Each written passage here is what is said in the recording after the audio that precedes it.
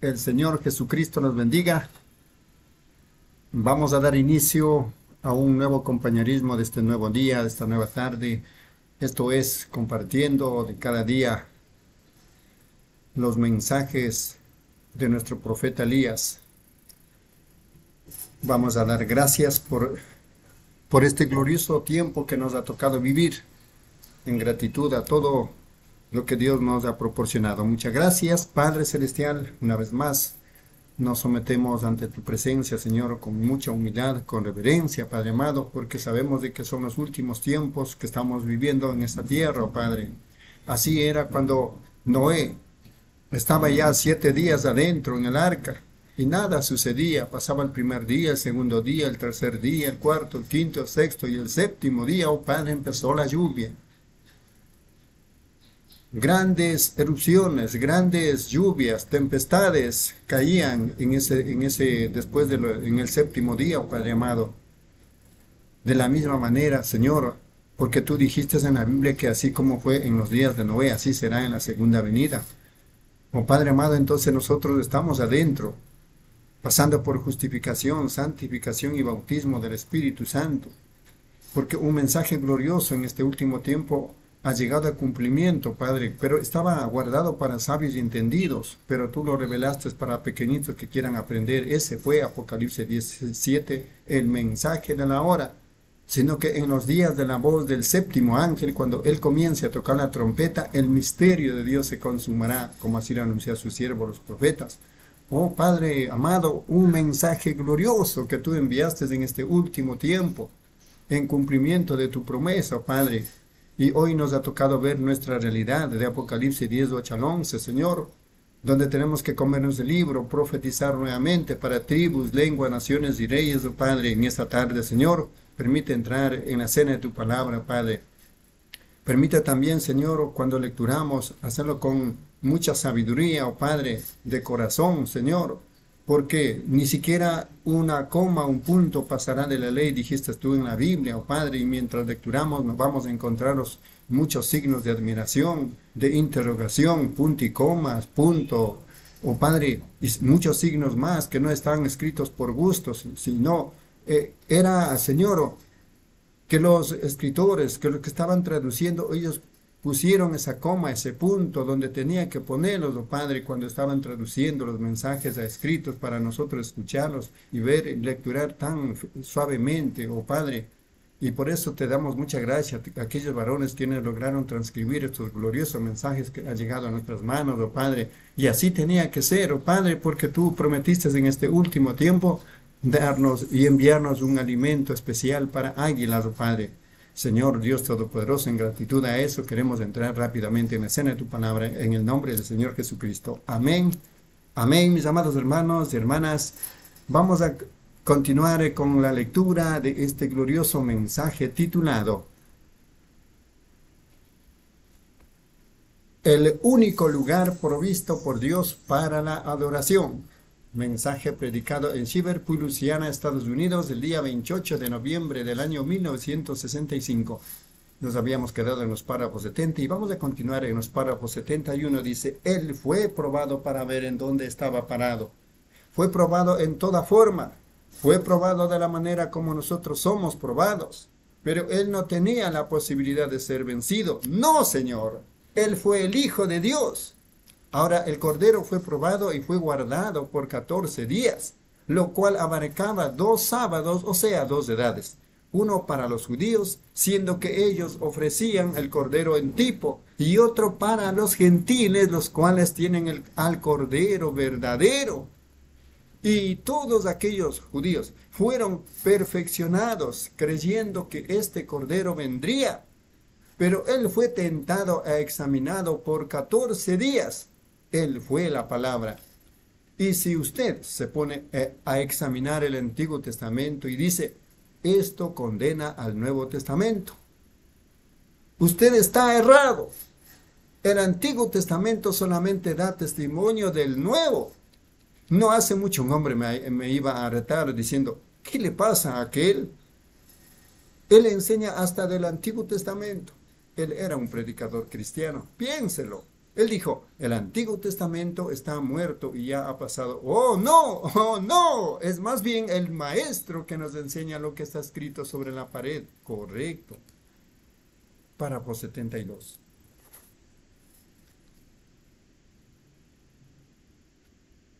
Ahora, vea, por 14 días fue probado. Así fue Cristo.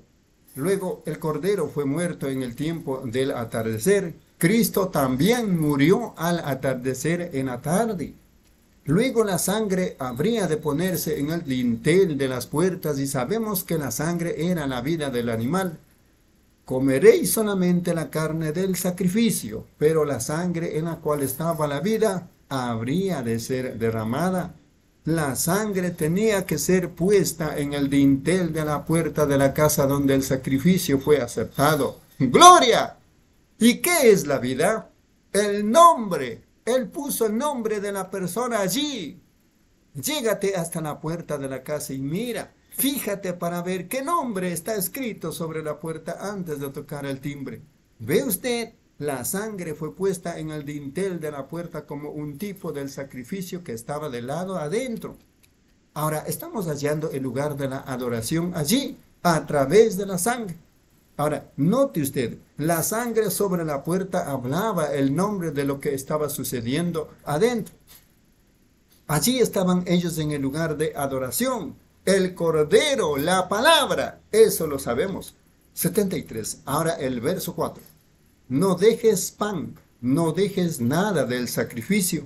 O sea, tomándolo de una edad para otra tratando de regresar y decir, bueno, nosotros somos luteranos y queremos llegar hasta aquí arriba.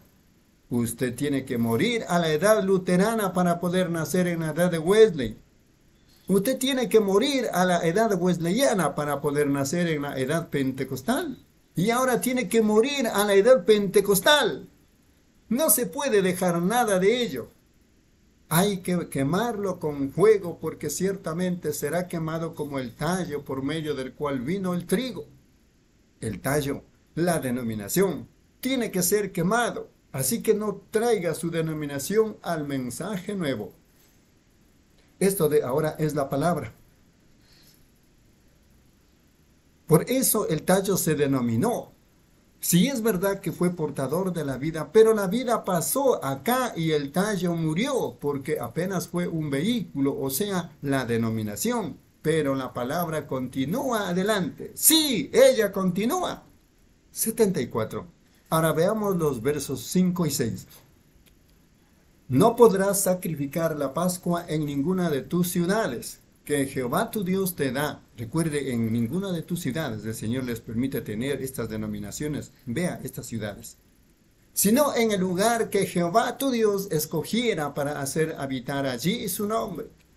Esta es la puerta, el único lugar. No son las muchas puertas, mas Dios tiene solo una puerta. 75. Usted dirá, yo entro cada día por la puerta metodista. Así es la iglesia.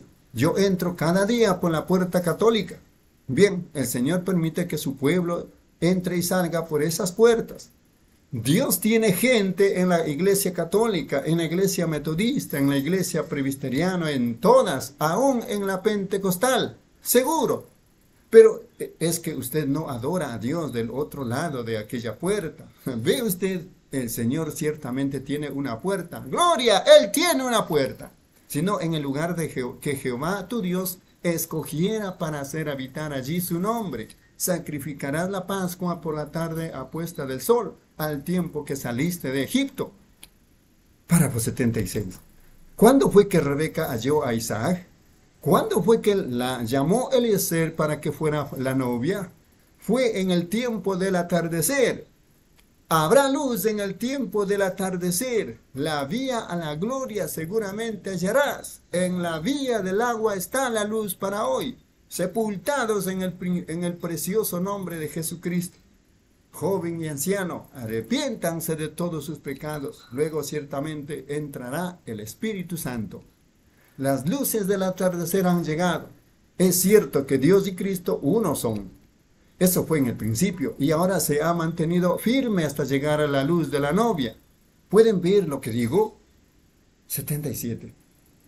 Me conviene mejor cerrar con esto y luego comenzar de nuevo en esta noche porque no quiero que se pierdan de esto. No, no hermano. Ya es el tiempo de la comida. Es que tengo demasiadas anotaciones. ¿Qué tal si continuamos en esta noche? ¿No sería mejor? Bien, ¿están seguros? ¿Quieren mejor continuar un poco más? Bien, continuaremos un poco más y nos vamos a apurar. 78. Ahora, ¿entrar por dónde? No entraréis por ninguna de las puertas que el Señor tu Dios te ha dado, sino por la puerta en donde Jehová pusiere su nombre. No entrarán por la puerta de la casa. ¿Correcto? Dios va a poner su nombre en la puerta, o sea, en la puerta por la cual se entra al lugar de adoración, al santuario. Usted no puede entrar con su sacrificio por cualquiera de estas puertas, sino solamente por la puerta que el Señor Dios escogiera para poner su nombre. Ahora, ¿ha hecho él esto? ¿Dónde está esta puerta? En San Juan capítulo 10, Jesús dijo, yo soy la puerta, yo soy la puerta de la casa de Dios, y soy la puerta del redil, no la puerta del redil de las cabras, sino el de las ovejas. Yo soy la puerta del redil de las ovejas. El hombre puede entrar por esta puerta y estar seguro. Podríamos tomar mucho tiempo en este pensamiento, pero ahorremos tiempo. Él es la puerta del redil de las ovejas. 79. Queremos poner mucha atención en esto, porque aquí las sombras y los tipos están a plena vista. Pero si tomo toda esta página, entonces vamos a estar mucho tiempo. Bien, noten. Esto trae a plena vista a Jesucristo, porque todo el Antiguo Testamento fue un tipo de Él. Todas las fiestas, todas las formas de adoración y todo. Tengo escrito aquí debajo de todas estas citas. Explica esto. Y allí es donde tomaríamos muchísimo tiempo para explicar cómo todas las fiestas y, aún la ofrenda de la harina fueron tipos de Cristo. Tomemos esa en particular. Para 80 por último. En una ocasión había una escuela llamada la Escuela de los Profetas, en donde entrenaban y educaban profetas. También había un genuino profeta llamado por Dios, y éste fue a visitarlos ellos quisieron tomar un poco de cortesía al profeta de mayor edad.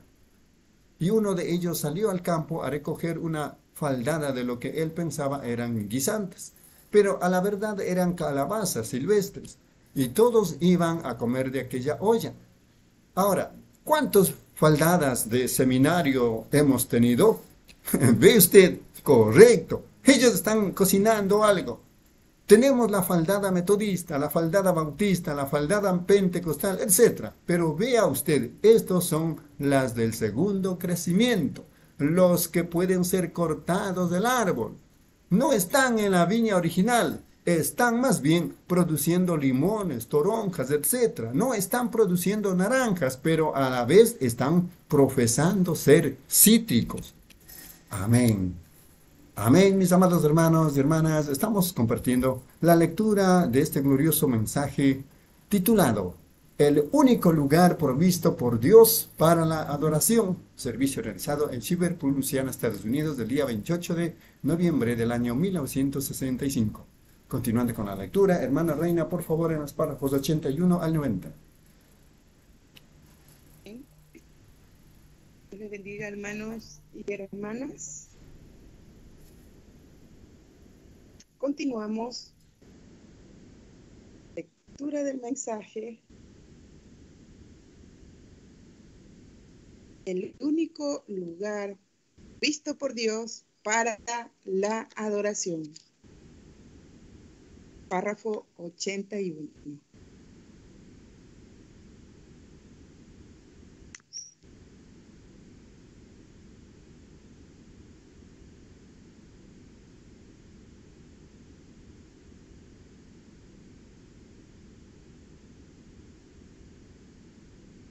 Noten, pues, cuando Eliseo vino y vio la situación y vio que eran calabazas venenosas, cosa que mataría a todos, ellos le dijeron, ay, tenemos la muerte en la olla. Él entonces dijo, traedme un puñado de harina. Él echó la harina en la olla y dijo, ahora todo está bien. coman cuanto quieran. Cambió la muerte en vida. Y la ofrenda de la harina que fue presentada, Cristo fue la ofrenda de la harina ofrecida. Y la harina de la ofrenda tenía que ser majada con cierta piedra, la cual hacía que cada partícula de harina saliera igual, mostrando que Él es el mismo ayer, hoy y por los siglos. Él es el mismo. Y si lo ponemos en una denominación, entonces esta tendrá vida. Él es la palabra. Cristo es la palabra. Todos los tipos, cada cosa, los tabernáculos, los panes de la proposición, en fin, todo. El kosher, partido bajo el plato era su cuerpo partido. Hasta hoy los judíos no pueden explicar esto. ¿De usted? Y todas estas cosas lo tipifican. 82. Ahora, teniéndolo a él a plena vista, vemos que todas las denominaciones y los credos se han quedado atrás. Y él es la palabra de Dios, pura e incambiable, la cual es el pan sin levadura San Juan capítulo 1, correcto. Él es el pan sin levadura. Entonces, si usted le agrega esto o lo otro, le estará agregando levadura a lo que fue dado originalmente para usted. Fíjense bien en esto. ¿Qué es lo que está acabando con la raza hoy día? Están produciendo híbridos. Y cuando algo es híbrido o cruzado, allí mismo muere. Es verdad que es más bonito, cierto. El maíz híbrido nos produce el cereal llamado con conflex y cuantos más. El maíz híbrido produce un tallo largo y fuerte y con mazorcas grandes que parecen el doble de las otras, pero eso es muerte. Aún la ciencia ha probado eso, ¿ve usted? no lo mezcle porque entonces le matará. Ahora, permítame traerles esto. El otro día estaba regando unas flores que tengo en el jardín. La señora de la casa tiene unas plantas híbridas en unos pequeños botes al lado de la casa y tenemos que echarles agua cuando menos tres veces a la semana, porque de otra manera se morirán. Pero en todo el centro del jardín está una mata original y allí no ha llovido por seis meses. Todo está muy seco y si aún lloviera, a los diez minutos todo se volvería polvo de nuevo. Pero la mata original tiene más color y es más bello que el de las híbridas que están recibiendo toda el agua. Ahora, si les negamos el agua, se morirán. Pero esta acá, ¿de dónde está recibiendo el agua? Otra cosa, cada tercer día hay que estar rociándoles una especie de insecticida para que no se las coman los insectos, porque son tan tiernas y débiles que se las comerán. Pero no hay insecto que se acerque a la planta original. No, no. Él se acerca pero se retira enseguida. Lo que pasa es que ella es original. Entonces, ¿Puede ver usted lo que ha producido esta ciencia de mezclas? Sucede la misma cosa en la iglesia. Están haciendo el esfuerzo por mezclar la denominación con la palabra, para hacer entonces que la palabra diga lo que dice la denominación. Y cuando hacen esto, entonces tienen que aplicar el insecticida y tratarlos con mucha ternura y darles una estrellita de oro cuando vienen a la escuela dominical y cuántas cosas más, ¿correcto? Pero un genuino cristiano, renacido de la palabra de Dios, será un cristiano robusto. Los insectos y las demás cosas del mundo no les molestarán. Él es un águila y se irá volando por encima de todo, remontándose hasta el cielo, ¿correcto? Ahora, tenemos que entender aquí que la denominación, los credos o cualquiera otra cosa que se añada del pan leudado, de ninguna manera se podrá mezclar con el pan sin levadura. Y la Biblia nos da la sombra aquí en la ofrenda que usted no puede entrar al lugar de adoración llevando alguna levadura y de esta manera ser aceptado por Dios. Usted dice, yo soy metodista. Usted muere allí mismo. Otro dice, yo soy pentecostal. Usted está muerto. Yo soy de Cristo, correcto. Usted tiene que estar parado sobre algo. En una ocasión el señor Churchill dijo, con dos dedos levantados en alto, nosotros tenemos la victoria. Inglaterra confió en eso. Ellos creían en Churchill. Y créalo usted o no, en esta mañana usted está confiando en algo. Hay una sola cosa en la cual usted puede vivir y estar completamente confiado. Cristo, la palabra, correcto. 86. Note bien que en la Biblia no hay nada con que tipificar a las denominaciones, sino solamente con Babilonia. Babilonia fue fundada por Nimrod, el cual fue un renegado.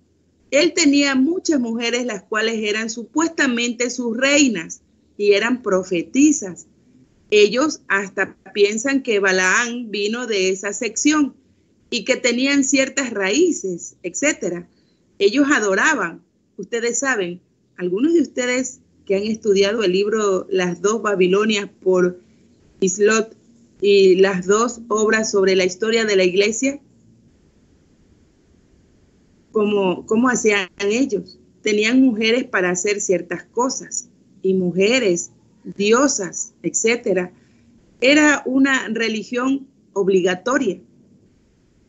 Todo mundo, toda ciudad, toda persona alrededor de Babilonia, bajo Nimrod, era obligado a venir a Babilonia a adorar en la torre, ¿correcto?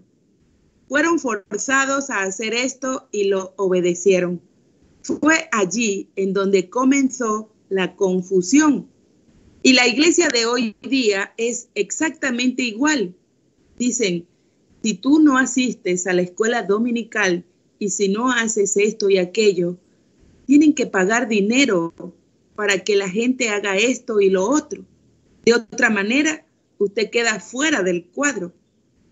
Allá mismo en Tucson, donde me están escuchando en este momento, en una ocasión yo me puse a pensar, yo siempre he amonestado a la gente, asistan a la iglesia, no importa en dónde estén. Entonces vi que la gente se estaba enfriando y alejando. Pensé, ¿qué pasaría? 87. Y entonces yo fui a visitar a algunas de estas personas y me dijeron, la primera vez que uno asiste a estas iglesias, se le acercan y le dicen, únase a nuestra iglesia. Luego, si uno no lo hace, ya no es bienvenido. ¿Ven ustedes? Es una cosa forzada, obligándole a usted. Eso es Babilonia. Pero en Cristo, usted entra por elección, no por la fuerza. Su corazón le constriñe. Entonces Dios no, no pudo poner su nombre en Babilonia estén atentos. Él no puede poner su nombre en Babilonia, las iglesias. Ellos son los que ponen su nombre en esas cosas, pero Él nunca. 88. Usted dice, pero hermano Branja, espérense un momentito, por favor. Me pidieron que me quedara otro rato más. Ahora, fíjense, ellos pusieron su nombre en eso, pero Él no. Él dijo, el lugar a donde te voy a encontrar y a donde aceptaré tu sacrificio, es el lugar en donde yo escojo poner mi nombre. Por esta puerta es por donde debes entrar al lugar en donde yo escojo poner mi nombre. Allí es a donde tú debes venir. Mas ellos le han puesto así. Esta es la iglesia de Cristo. Si hay alguna cosa fundamentalmente errada en esa declaración, es que les ha faltado ponerle la palabrita anti. Sí, ellos están en desacuerdo con todo lo que él enseñó. Fariseos modernos. 89. Pero tenemos que hallar el lugar en donde Él puso su nombre, porque ese lugar es la única puerta provista. Amén. Gloria. Fíjense, en donde puso Él su nombre. ¿En dónde puso Él su nombre? En su Hijo. Amén. Ahora, usted dirá, un momentito, hermano Branham, ese fue el Hijo y no el Padre. El Hijo siempre toma el nombre de su Padre en todo caso. Yo vine a la tierra en el nombre de un Branham, porque mi padre era llamado Branham. Jesús dijo, yo vine en nombre de mi Padre y ustedes no me han recibido. ¿Desean tener la cita en donde está escrito? San Juan 5:43. Entonces el Padre puso su propio nombre, el cual es Jesús, en su Hijo. Él es el camino, Él es la puerta, Él es la casa, Él es a donde Dios escogió poner su nombre. Dios nunca puso su nombre en mí, Él nunca lo puso en la iglesia. Ya no sea metodista, ya sea metodista, bautista o católica, mas colocó su nombre en Cristo, el Emanuel ungido. 90. Y el nombre está en la palabra, porque Él es la palabra. Amén. Entonces, ¿qué es Él? La palabra interpretada es la manifestación del nombre de Dios. Con razón, esto no te lo ha revelado carne ni sangre, mas mi Padre que está en los cielos te ha revelado esto. ¿De quién soy yo? Y sobre esta piedra edificaré mi lugar de adoración. Amén. Y las puertas del infierno no te podrán arrebatar esto. Amén. Oh, iglesia del Dios viviente, párate firme sobre este fundamento en Jesucristo solamente. Usted puede entonar el himno, pero si no se encuentra en Cristo, la palabra, entonces estará en arena movediza y sin seguridad. Pero es sobre esta piedra, Cristo, mi palabra. Amén. Dios le bendiga, mis hermanos. Amén, hermana Reina. Dios le bendiga. Seguimos compartiendo la lectura de este glorioso mensaje titulado El único lugar provisto por Dios para la adoración. Servicio realizado en Chiverpool, Luciana, Estados Unidos. Día 28 de noviembre del año 1965. Para continuar con la lectura, hermana Erika, Dios le bendiga en los párrafos 91 al 100.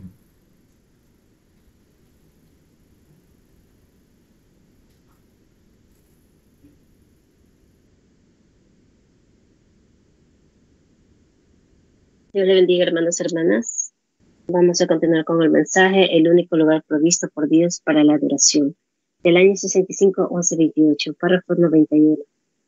Él edificó el mensaje Lutero y ellos lo denominaron. Estaba creciendo, era el estrado. Luego creció a la altura de la pierna, los metodistas, etc. Allí fue donde él edificó su iglesia, sobre su palabra. Él no es todo pie o todo pierna, él es un cuerpo Ahora es la parte de la coronación. ¿Han notado algo en la pirámide? Entienden claramente que yo no predico una religión basada en la pirámide, pero la primera Biblia que fue escrita fue escrita en los cielos, el zodiaco. ¿Se fijan cómo comienza? Comienza con la Virgen. La primera figura en el zodiaco y la última figura es Leo, el león. Él vino la primera vez por, por medio de la Virgen y, próximamente vendrá como león de la tribu de Judá. Antes de la última figura está a la edad de cáncer, el cangrejo cruzado. En cuanto a las demás edades, si tuviéramos tiempo, lo veríamos todo. Ya lo hemos tenido en el tabernáculo. 92. En la pirámide tenemos las distintas fundaciones hasta llegar a la cámara del rey y antes de llegar a la séptima pared hay un lugarcito de instrucción a donde sale un mensajero para conducir al rey. El mensajero Juan el Bautista fue quien presentó al rey. La piedra de corona fue rechazada. Ellos no conocen la piedra de Scone o lo que ellos sea. No saben en dónde está porque fue una piedra rechazada, pero esa es la piedra que pone fin a la cosa completa y le da la forma a la pirámide a través de las siete edades de la iglesia. Muestre gracia, muestre esto, muestre esto. Son siete cosas que deben ser mostradas y lo último es Cristo. Muestre esto a su caridad, muestre gracia a su gracia y así las otras cosas hasta llegar a Cristo, la piedra de corona. Yo soy la puerta. 93. Ahora, un hijo siempre viene en el nombre de su padre. Cualquier hijo viene en el nombre de su padre. Jesús dijo, yo he venido en el nombre de mi padre. Entonces, ¿cuál es el nombre del padre? ¿Cuál es el nombre del hijo? Luego dijo, un poco y el mundo no me verá más, más vosotros me veréis. Lo que pasa es que Él viene en la forma del Espíritu Santo, el mismo Jesús. Por eso que era que adoraban. Oh Jesús, ven, ven ustedes. El Señor Jesucristo es Padre, Hijo y Espíritu Santo. Es todo. Yo vine en nombre de mi Padre y no me recibís. De 24. Y tenemos que recordar que Él también añadió esto a este verso y nos advierte, pero otra verdad, una denominación, un credo, estos vendrán en sus propios nombres y vosotros ciertamente los recibiréis. No me recibís a mí, la palabra, vindicada y probada frente a vosotros así como Él fue en aquel día, lo será también hoy. Gente a través de la nación, no pasen esto por alto. Otro vendrá a una iglesia y creerá en eso porque entonces se podrán comportar de cualquier manera. Yo no lo bendicaré. Él, él en ninguna ocasión, en ningún tiempo ha vindicado alguna cosa en ninguna iglesia que haya estado fuera del mensaje dado. Lutero, justificación, Wesley, santificación, Pentecostés, restauración de los dones, y tan pronto como hicieron una denominación de ellos, murieron. Escudriñe las escrituras. 95. Mas él dijo, yo escogeré un lugar en donde colocar mi nombre. El nombre fue Jesús y Jesús es la palabra. Juan capítulo 1, ¿correcto? Ese es el lugar de adoración en Cristo, la palabra. Yo vengo en el nombre de mi Padre. El profeta dijo, su nombre será llamado Emmanuel. Mateo 1:23. Si usted lo desea apuntar, Jesús, Jehová, el Salvador. Ahora, en el verso 5 nos ha mostrado que Él es la palabra, eh, que Él es la puerta. A esta altura también tenemos muchas otras pruebas invisibles, además del nombre, como la puerta y la ciudad, las cuales nos sirven para probar que existe un solo lugar en donde Dios encuentra al hombre para la adoración, y eso es cuando Él está en Cristo. Ahora, tenemos la pregunta, ¿cómo es que entramos en Cristo? Puede ser que esto duele un poco, pero es que como cuando tomamos la medicina, si ella no lo enferma a usted, entonces no le hará ningún bien. 96. Los luteranos quisieran, quisieron entrar de cierta manera, uniéndose a la iglesia luterana. Los metodistas quisieron entrar por medio de los gritos. Los pentecostales quisieron entrar por medio del hablar en lengua pero aún no han dado en el blanco.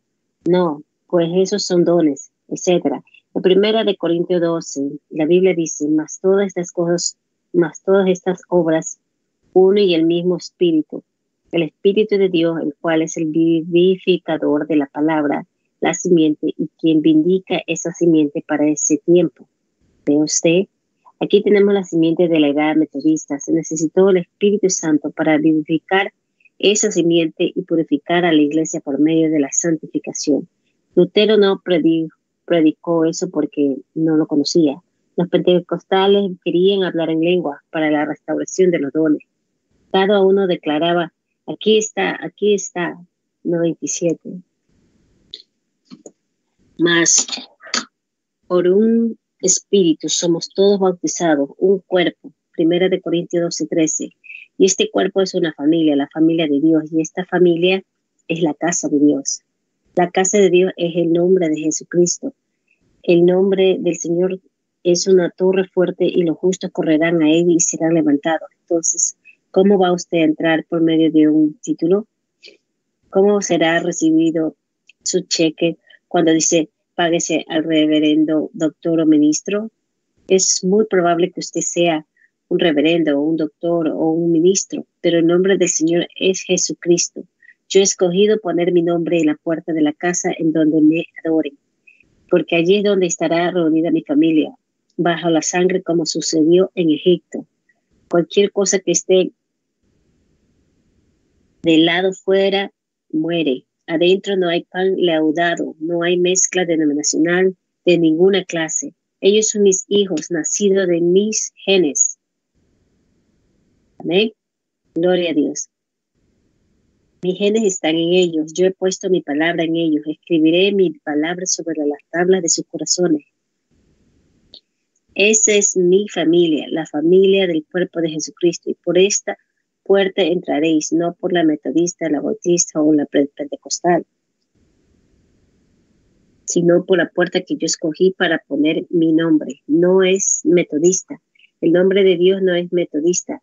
El nombre de Dios no es pentecostal. El nombre de Dios no es bautista. El nombre de Dios no es católico. Entonces, aparte de la puerta de 98.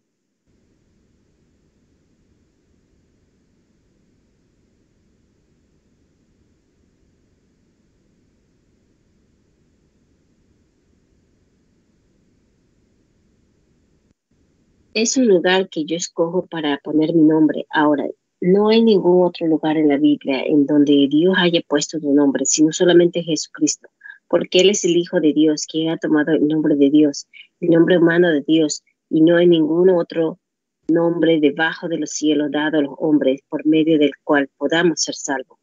Hechos 4:12.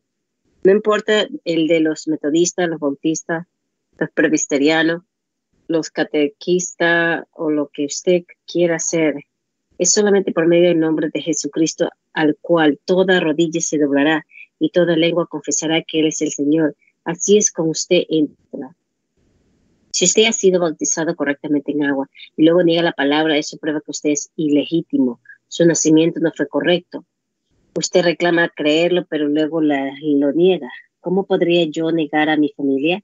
¿Cómo podría yo negar a que Charles Branham fue mi padre. La prueba de la sangre sobre la puerta es la prueba.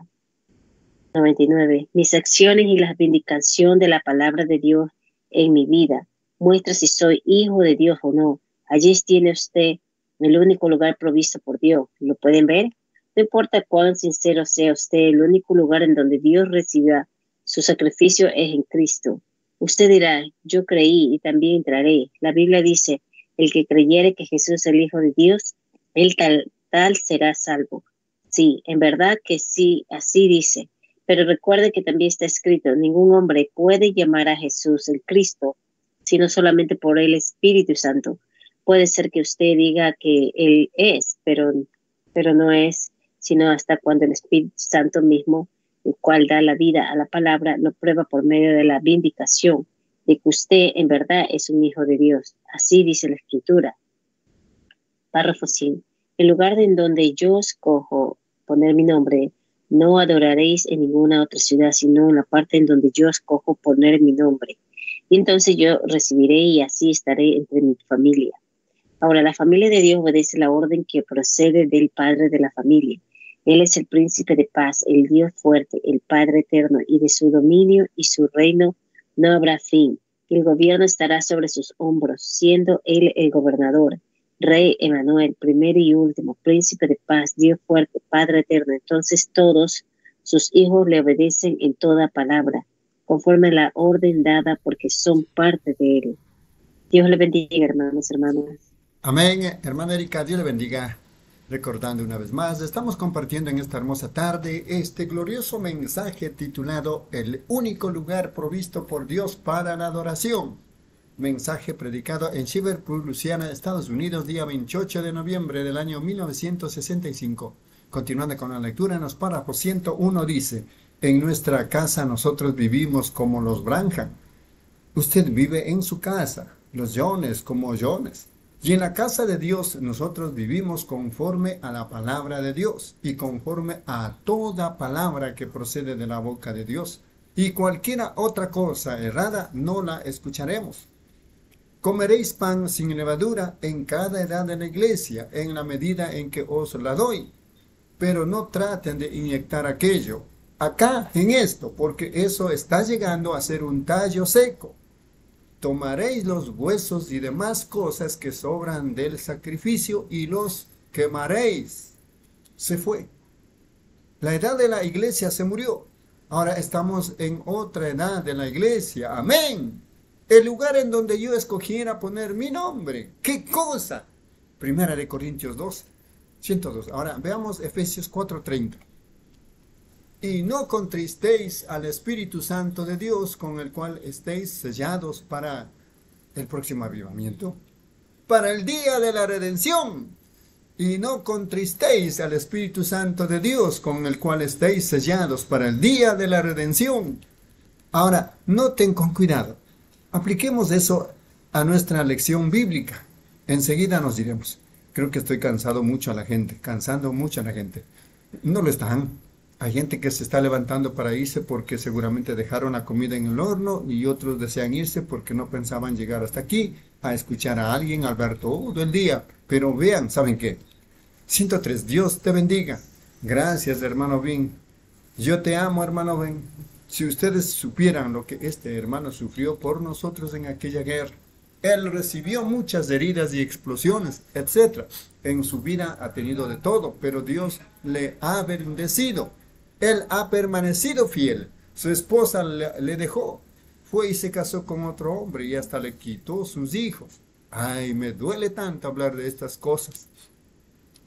Pero de todos modos, Dios te bendiga, ven. Todavía él tiene muchos pedacitos piadosos de hierro en su cuerpo, haciendo presión contra sus nervios y otras cosas. Usted tendría que conocer su vida. Dios bendiga a este hombre, con el cual estáis sellados hasta el día de la redención. 104. Noten, esto probablemente duele un poquito, pero fíjense, no se disgusten conmigo. Esperen un momento. Cuando Israel hubo mirado esa puerta con la sangre sobre ella, el nombre, la sangre, la vida, y hubieron entrado por allí, no volvieron a salir sino hasta cuando salieron de Egipto. No contristéis al Espíritu Santo de Dios, con el cual habéis entrado, y no saldréis de allí hasta el día cuando hayáis sido redimidos. La Biblia siempre es correcta. Él fue quien colocó estas palabras y uno tiene que colocarlas correctamente en donde deben estar para completar el cuadro de la redención. Ve usted, no contrastéis el Espíritu Santo de Dios con el cual estáis sellados para el día de la redención. ¿Hasta cuándo habrá sido redimido? 105. Usted está sellado y está bajo la sangre y no saldrá jamás. Luego, ¿qué es usted?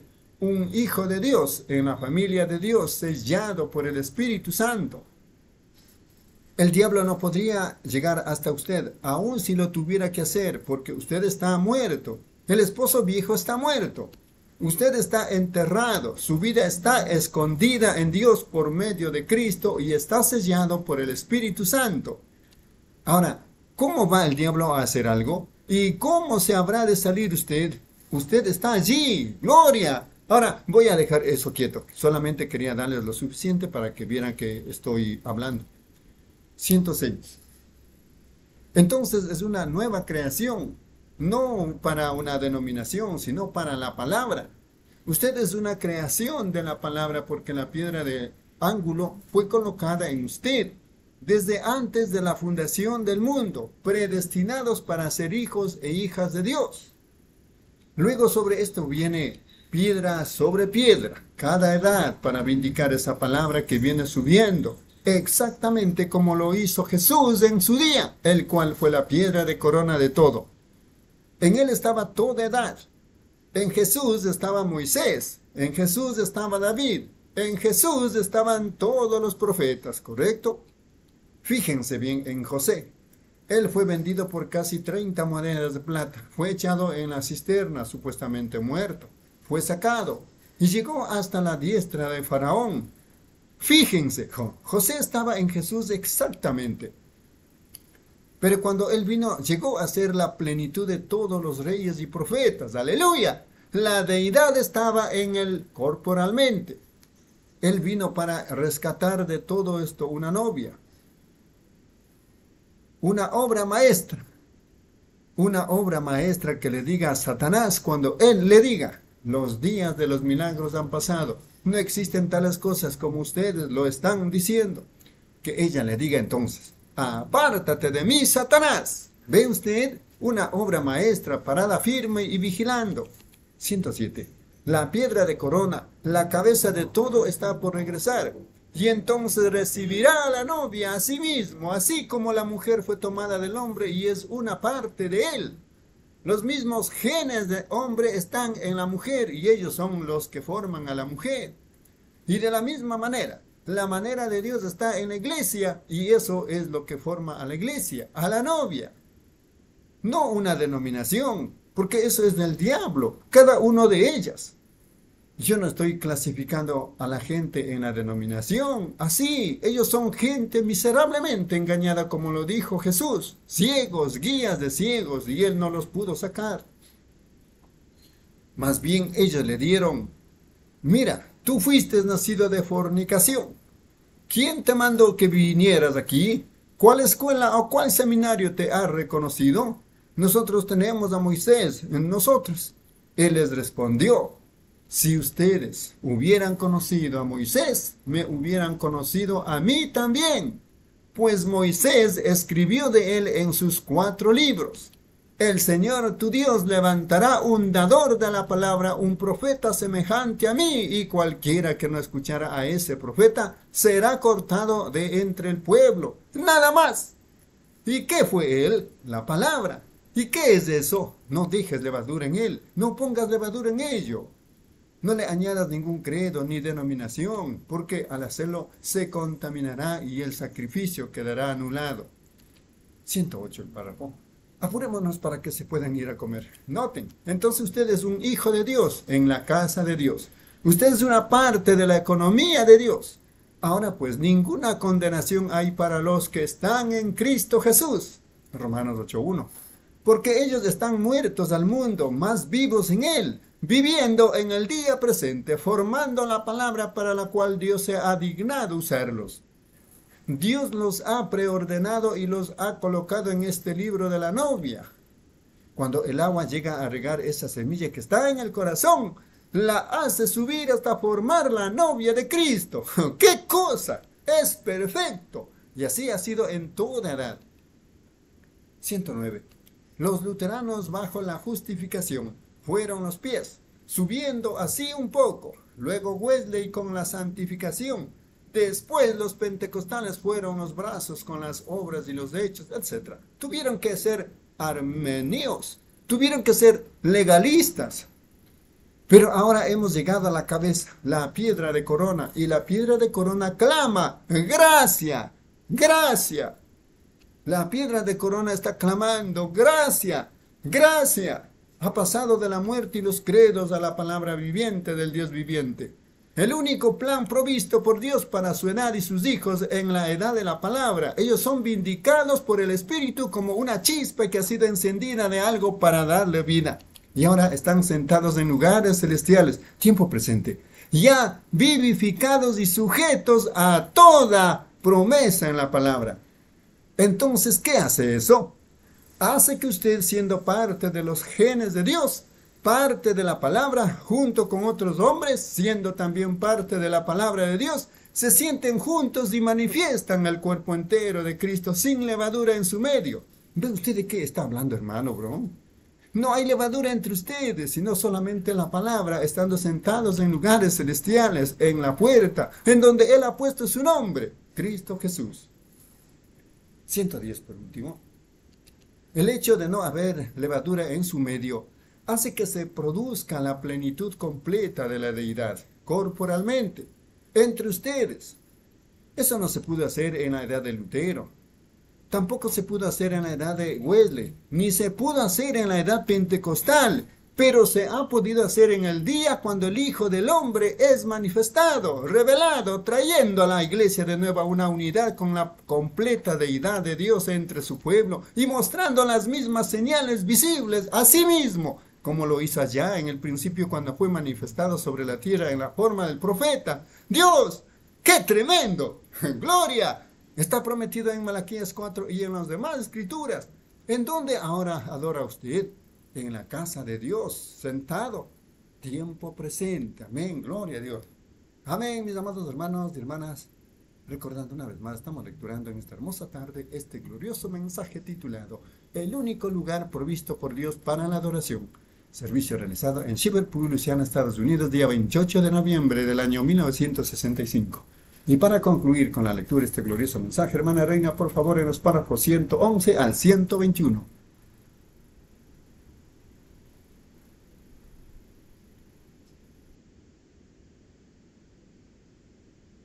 Amén.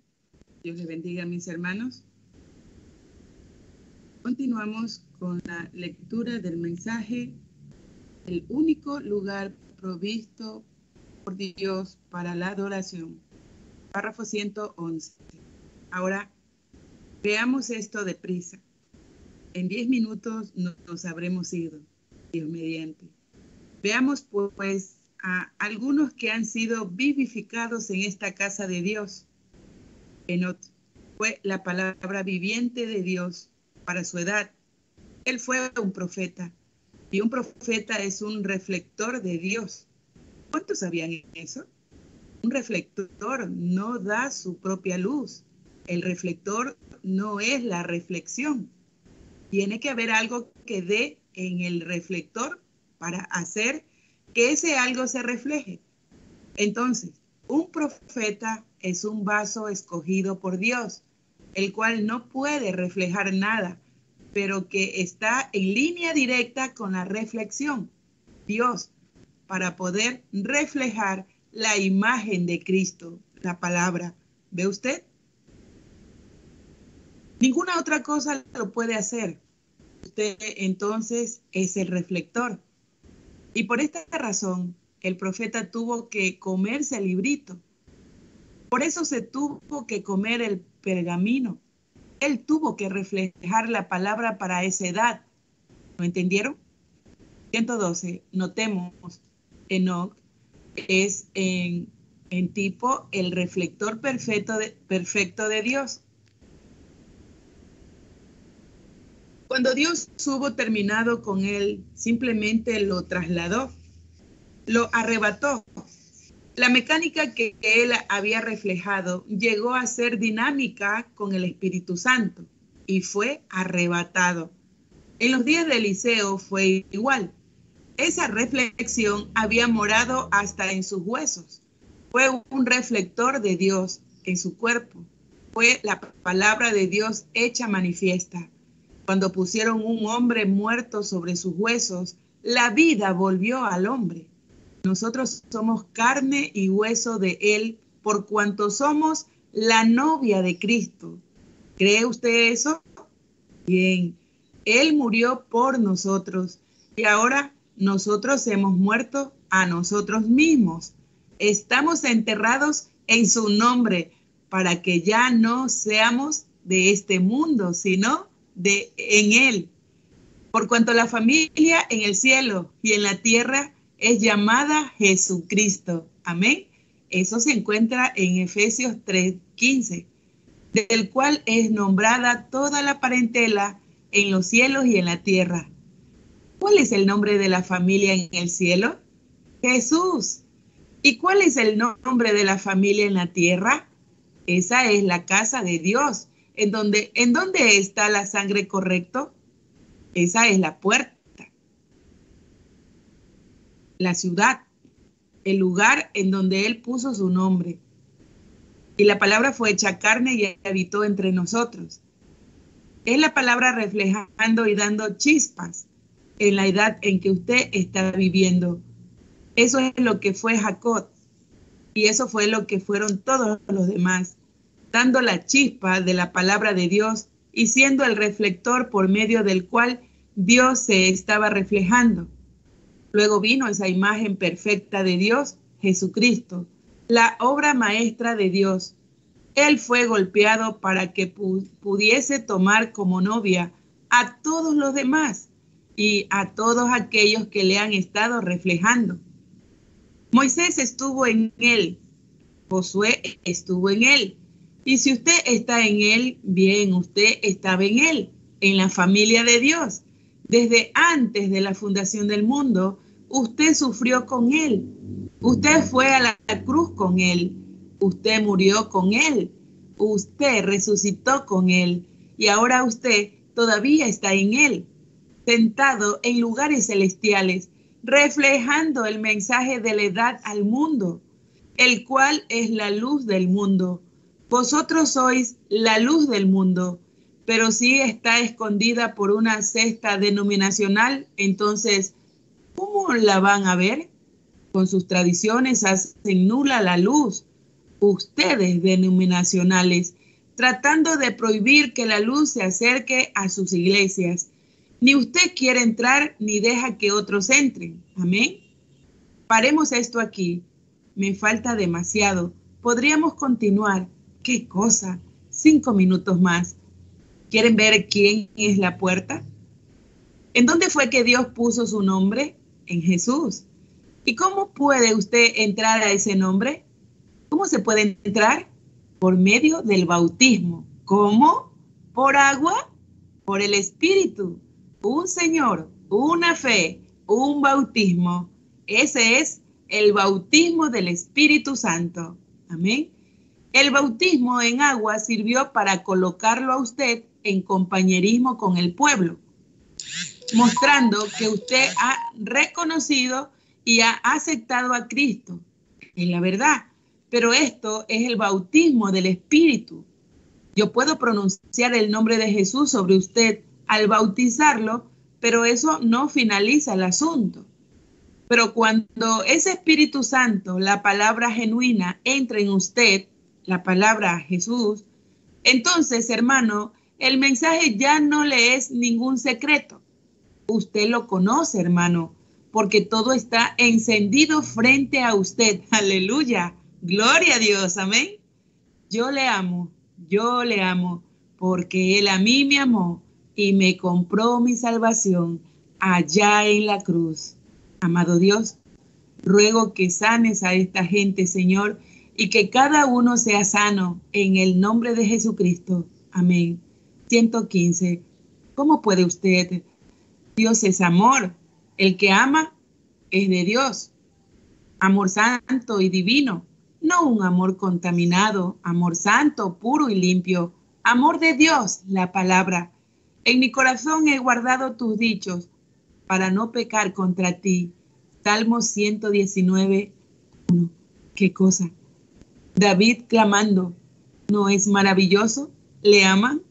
Ahora, hay un camino, un camino puro y santo, el único lugar en donde Dios lo encontrará a usted no es porque usted diga, Dios, yo soy un buen metodista, un buen bautista o un buen pentecostal. No, es porque usted está en Cristo, la palabra, la porción de la palabra que está siendo manifestada para hoy, el mensaje de este día.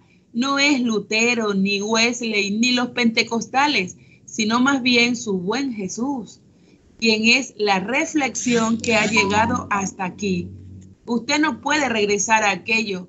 Eso sería añadirle levadura al pan santo, pero no con solo el pan vivirá el hombre, mas de toda palabra que sale de la boca de Dios en su debido tiempo. Mateo 4:4. 116. Oh, ven, Señor Jesús, la gran piedad de, perdón, oh, ven, Señor Jesús, la gran piedra de corona. Miren aquello allá, el polvo de aquellos luteranos que murieron bajo el martirio. Miren a aquellos metodistas, aquellos pentecostales y todos los demás que están apareciendo ahora. Qué cosa tan rara. Ustedes de las asambleas de Dios que se organizaron cuando eso fue la mera cosa de la cual Dios les sacó, mas se volvieron atrás de la misma manera como el puerco que vuelve al lodazal. Y ustedes, los de la unidad, los que antes eran las asambleas pentecostales de Jesucristo, tenían una iglesia para la gente de color y ustedes se separaron acá aparte por razón de la segregación. Ustedes hicieron eso y luego se unieron y lo llamaron la unidad. Luego se organizaron y se pelearon con las asambleas como un perro que vuelve a su vómito. Si el vómito enfermo al perro, enfermó al perro en el principio, ¿no lo enfermará de nuevo?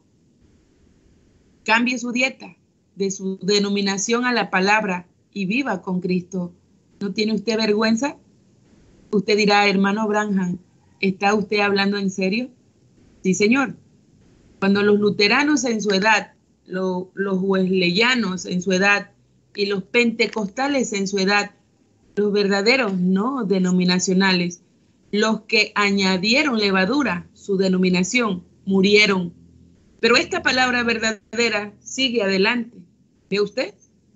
Como lo dijo Jesús, en aquel día vosotros conoceréis que yo estoy en mi Padre y el Padre en mí, y vosotros en mí y yo en vosotros. Juan 14, 20. Es toda la palabra. 118. Ahora, iglesia, hemos estado enseñando, pero recuerden, cuando se vayan de este lugar, comiencen a apartarse del forro. Ahora están entrando a la semilla, pero permanezcan en la presencia del Hijo no le agreguen a lo que he dicho, no le quiten a lo que he dicho, porque yo he dicho la verdad hasta donde la conozco, hasta donde el Padre me la ha dado. ¿Ve usted? No le añadan a esto, simplemente digan lo que he dicho. La verdad del asunto es, simplemente diga a la gente que vengan a buscar al Señor Jesucristo. Luego, quédese usted en su presencia hágase el amor. Oh Señor Jesús, Hijo de Dios, yo te amo. Enternece mi corazón, Señor. Quita toda la suciedad y el amor del mundo y permíteme vivir santamente ante ti en este mundo. Inclinemos nuestras cabezas para orar. ¿Tienen a alguien escogido para despedirnos en oración? Bien, lo haré yo. Sean muy reverentes. 119. Amado Dios, te damos gracias porque hemos recibido nuestra dieta espiritual. Te damos gracias, Señor, porque la vitamina de la palabra hace crecer a los hijos de Dios. No tiene ningún efecto en cualquier otro carácter, sino solamente en los hijos e hijas de Dios. Te agradecemos por ello y rogamos, Dios, que hallemos, hallemos provecho con ello hagamos provecho con ello. Que no solamente te agradezcamos, te damos muchas gracias por ello, sino que usemos las fuerzas para tratar con amor de persuadir a la gente a que crean en nuestro Dios, ya sean los extraviados, los pecadores, las mujeres, los hombres, los muchachos, las muchachas, los de esta edad, viendo pues, Señor, que la condición mental la edad nerviosa en que esta gente vive les está presionando fuera de su mente para que así se cumpla exactamente lo que las escrituras dicen y prometen, las grandes y honrorosas cosas que vendrán sobre la tierra, las langostas con cabello largo para perseguir a las mujeres que se cortaron el cabello y diversas cosas horrorosas que podrán ver claramente, Señor, en esa condición mental debilitada en que se encuentran y que luego clamarán a las piedras y a las montañas. Mujeres que crían perros y gatos en lugar de levantar hijos para honrarte a ti. Y las madres a quien le, les diste hijos. Y si les concibieron y ellas los han soltado en las calles para que hagan lo que les guste. Con razón tú dijiste cuando estabas en camino a la cruz, entonces comenzarán a clamar para que las piedras y los montes les caigan encima. 120. Vemos todas las cosas moviéndose y llegando en esta misma hora. Y vamos, vemos las escrituras siendo vindicadas y probadas.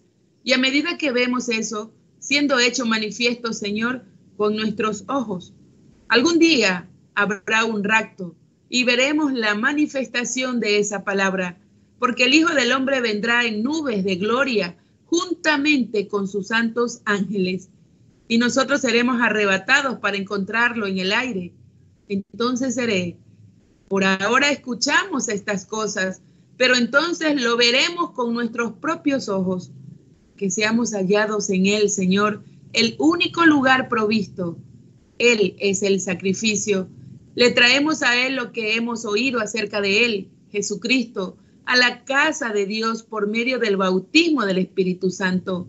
En el nombre del Señor Jesucristo, allí nuestro sacrificio es aceptado y somos aceptados en la familia, porque aun cuando éramos errantes por el mundo, ya, ya éramos ordenados como hijos e hijas de Dios antes de la fundación del mundo. Gracias por eso, Padre. Oh, ¿cómo podría alguien echar para atrás en algo como esto?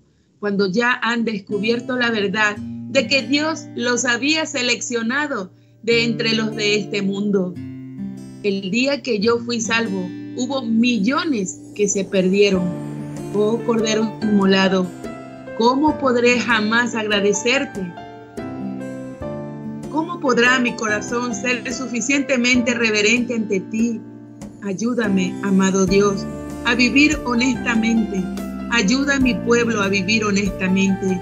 Yo oro por ellos, Señor, por todos, que tú, Dios, de alguna manera, yo no sé ni sabría cómo, no sé cómo exactamente, cómo debo pedir, Señor, y quizás ni lo esté pidiendo en la manera correcta, pero tú perdona mi ignorancia, Señor, y simplemente mira mi corazón. Yo pido que ni uno solo de ellos se pierda, ni uno solo, Padre, yo los reclamo a todos para ti, en el nombre de Jesucristo. Amén. Yo le amo, yo le amo, porque Él a mí me amó y me compró mi salvación allá en la cruz. Si le aman a Él, entonces se amarán los unos a los otros. Dense las manos. Amén. Dios le bendiga, mis hermanos. Amén. Gloria a Dios. Dios le bendiga la lectura, hermana reina. De esta manera, mis amados hermanos, y hermanas, hemos concluido con la lectura de este glorioso mensaje y compartido el único lugar provisto por Dios para la adoración. Mensaje predicado en Shiverpool, Louisiana, Estados Unidos, el día 28 de noviembre del año 1965. El Señor Jesucristo los bendiga ricamente.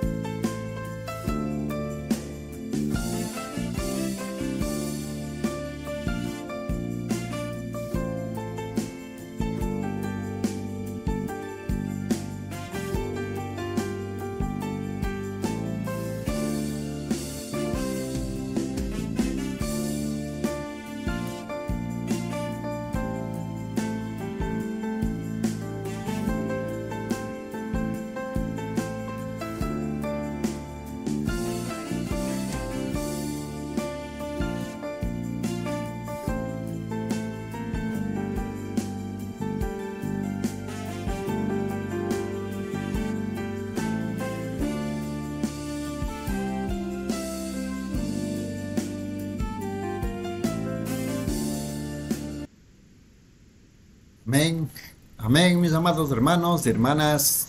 Verdaderamente es un privilegio para nosotros seguir conociendo y compartiendo estos gloriosos mensajes de nuestro profeta Elías, William Marion Branham, que estaba guardado y oculto para sabios y entendidos, pero fue revelado para niños que quieren aprender. Mis amados hermanos y hermanas, Siguiendo el orden cronológico de los mensajes, nuestro siguiente mensaje a ser lecturado en esta hermosa tarde se titula En las alas de una paloma blanca como la nieve.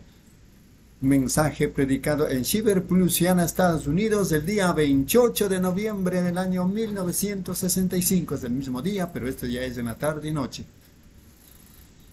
Iniciamos la lectura a mucha honra. Hermana Erika, por favor, en los párrafos 1 al 10.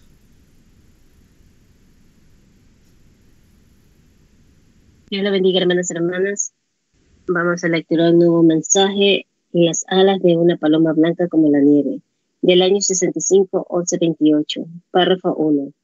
Inclinamos nuestros rostros. Amado Señor, te damos gracias en esta noche por la promesa de la venida del Señor Jesús, donde nos reuniremos en un gran encuentro que jamás terminará, de regocijo y cantos, a medida que alabamos a través de las edades insensatas que están por venir Pedimos tus bendiciones sobre el servicio de esta noche. Pedimos tus bendiciones sobre este tabernáculo, sobre su personal, sus pastores, sus colaboradores, sus copastores y por todos. Te pedimos que bendigas a estos, Señor, que han viajado muchas millas para estar aquí en la reunión.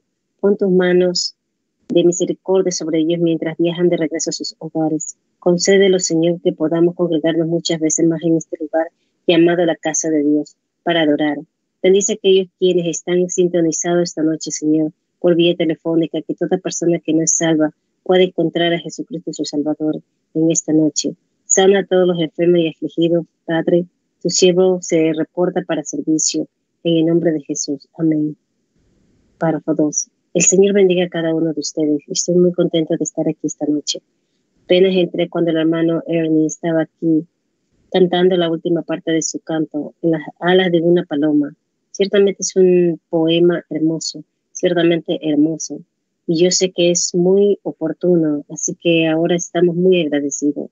Y a todos ustedes que están sintonizados esta noche a través de la, de la nación, yo desearía únicamente que ustedes estuvieran aquí para que vieran esta eh, espera, la expectativa en los rostros de la gente al estar tan lleno en el edificio en esta noche, teniendo un tiempo maravilloso. Queremos darle las gracias al hermano Jack Moore y a la, y la hermana Moore, y al hermano Noel y al hermano Bob Tiller, al hermano Brown y a todos los asociados aquí, a todo el tabernáculo, a todo el personal por invitarnos otra vez. Tres, fue una, realmente una, como una, no podría decir una coincidencia, sino que fue simplemente la, la mano de Dios que lo coordinó. Hay un hermano aquí que tuvo un sueño hace tiempo acerca de esto que está sucediendo. Dijo que yo estaba parado con un par de pantalones blancos con unos mocasines de, de indio y es exactamente como me encontraba parado cuando yo llamé al hermano Jack para la reunión aquí. Exactamente, en Carson, Colorado mocasines eh, de, de, indiano, de indio y tenía puesto un par de pantalones Levi blanco, hermano, hermano Leo. Y si usted está escuchando, estaba por encontrarlo usted en, unos en un minuto. Eso fue cuando el servicio tuvo su inicio, allí mismo. Cuatro. Ahora es domingo por la noche. Yo sé que muchos de ustedes viajarán toda esta noche para ir a casa. Algunos de ustedes viajarán por la mañana. Yo tengo dos días de viaje por delante y así que no retendremos mucho tiempo y he tratado de hacer esto una de estas noches antiguas, la noche en que el hermano Brown y el hermano Jack y todos nosotros que solíamos orar por los enfermos hace años, oraremos por los enfermos en la misma forma en que lo hacíamos en aquel entonces. Ahora, ¿pueden ustedes oírme allá en la parte de atrás? Yo sigo bajando estos micrófonos porque estoy ronco. Cinco. Y así que quiero solo una cosita pequeña, este pequeño incidente que ocurrió. Pues ellos me estaban diciendo hace un rato que había un hermano que tal vez esté en el servicio esta noche, que apenas salió del denominacionalismo, vino a Shreveport queriendo saber algo acerca del mensaje y él se enredó, no sabiendo dónde estaba, así que fue al centro de la ciudad. Vio gente reunida y dijo, ¿es aquí donde Billy Branham va a predicar? Él dijo, no, aquí es donde Billy Granja está predicando por medio de una película. Él dijo, bueno, perdónenme, me equivoqué de lugar. Él dijo que siguió y dijo, ¿a dónde puedo ir ahora, Señor? Dijo que empezó a caminar por esta calle principal. Yo no sé cuál es. Hay una iglesia grande aquí al final, la calle Texas. Y había una gran, la gran cruz blanca, una gran cruz blanca arriba de la iglesia. Dijo que el Señor le dijo, solo sigue caminando. Dijo, cuando él llegó allí, había, él dijo, bueno, aquí debe ser donde es. Hay muchos automóviles estacionados alrededor. Y dijo, una novia y su novia venían saliendo de la iglesia. Eso fue anoche. Había una boda. Yo vi cuando salieron. El Señor dijo, mira, eso es lo que es. Tú estás saliendo del denominacionalismo para formar parte de la novia, para irte con el novio. ¿Ven? ¿Ven? ¿Ven? Yo estaba comenzándole comentándole a mis esposas cuando veníamos por la calle cómo es que la luna y la estrella estaban colgando exactamente arriba de esa cruz. Y a medida que nos acercábamos hacia ella, me supongo que me fijé en cosas pequeñas como esa. Quizás son como complementarias a mi creencia en Dios y mi ministerio.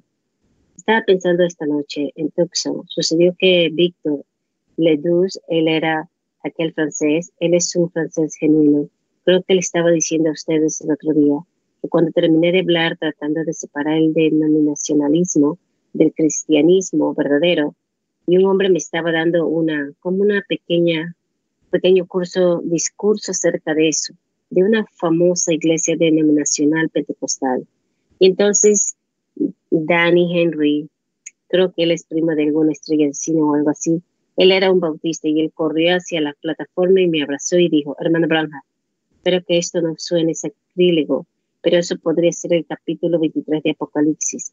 Cuando él comenzó a decir algo, empezó a hablar en lenguas. Y esto, tres personas francesas, una francesa, una mujer enorme, corpulenta, de, tez morena, de Luciana, ella pudiera estar sentada aquí esta noche. Anotó un pedazo de papel lo que él dijo. Entonces Víctor Ledoux, un ministro, anotó la misma cosa y ellos estaban comparando las notas o iban a hacerlo. Un hombre blanco de cabello rubio, estando parado de allá atrás, estaba muy atrás por causa de tanta gente, vino caminando, queriendo ver esas notas. Él, él era el intérprete de francés de las Naciones Unidas y todas las tres notas eran iguales. Y decía esto, por cuanto tú has escogido este arduo camino, tú lo has escogido, tú lo has tomado, lo has escogido por tu propia elección. Por supuesto, nosotros sabemos que Moisés tuvo que hacer su elección. Decía, este es el camino precioso y correcto porque es mi camino. ¿Y qué decisión más gloriosa has tomado?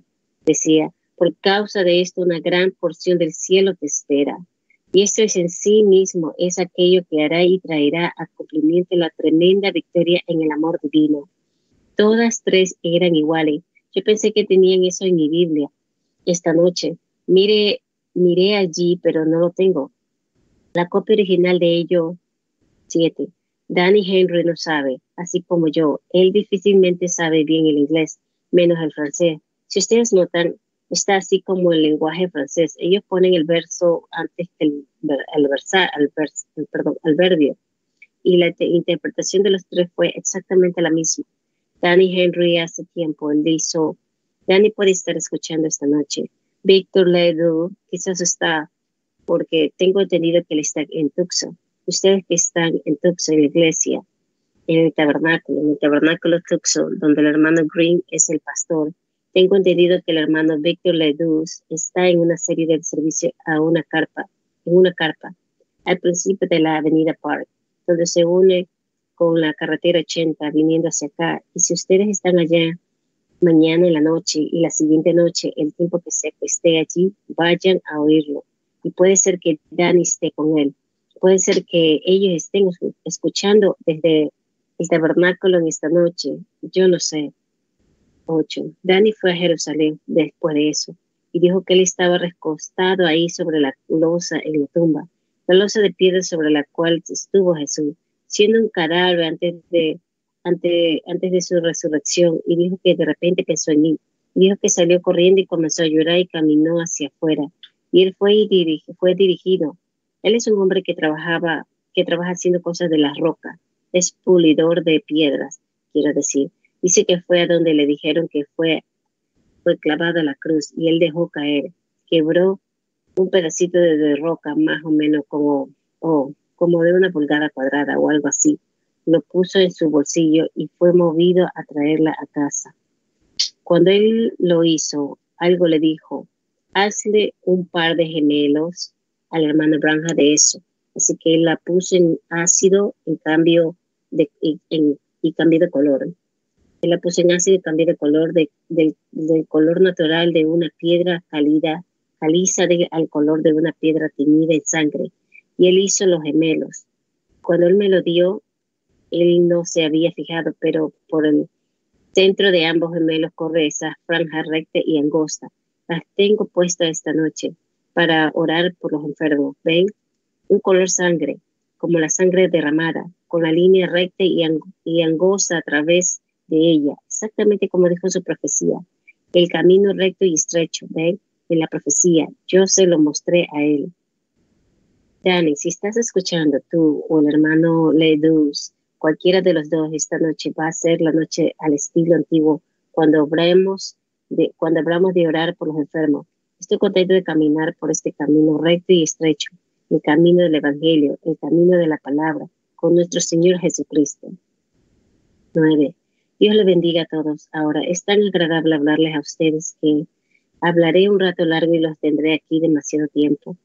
Billy dijo que hay entre 300 400 personas por las cuales orar, así que tendré que darme prisa con nuestro mensaje tan rápido como sea posible. Luego oraremos por los enfermos. Ahora, para la gente en Arizona, el próximo sábado en la noche estaremos en, nunca, nunca puedo acordar el nombre de ese pueblo, Yuma, Arizona, en el, en el banquete. Así que entonces en California seguiremos de ahí el domingo en la mañana para Los Ángeles y los lugares que se ha anunciado que, estaremos allí. En esta noche quiero tomar un texto de la escritura, párrafo 10. A propósito, yo estaba sentado en una cafetería, la cafetería Morrison, el hermano Jack, su esposa y yo y mi esposa fuimos a la cafetería Morrison para pasar un ratito juntos. No habíamos salido, las mujeres nunca habían estado juntas. Un joven se me acercó, su apellido es Green, él es el padre del hermano Pierce Green, y él dijo, ¿sabe hermano Branja? Usted estaba hablando acerca de un Johnny Pink la otra noche. Eso es realmente un, ¿qué es eso?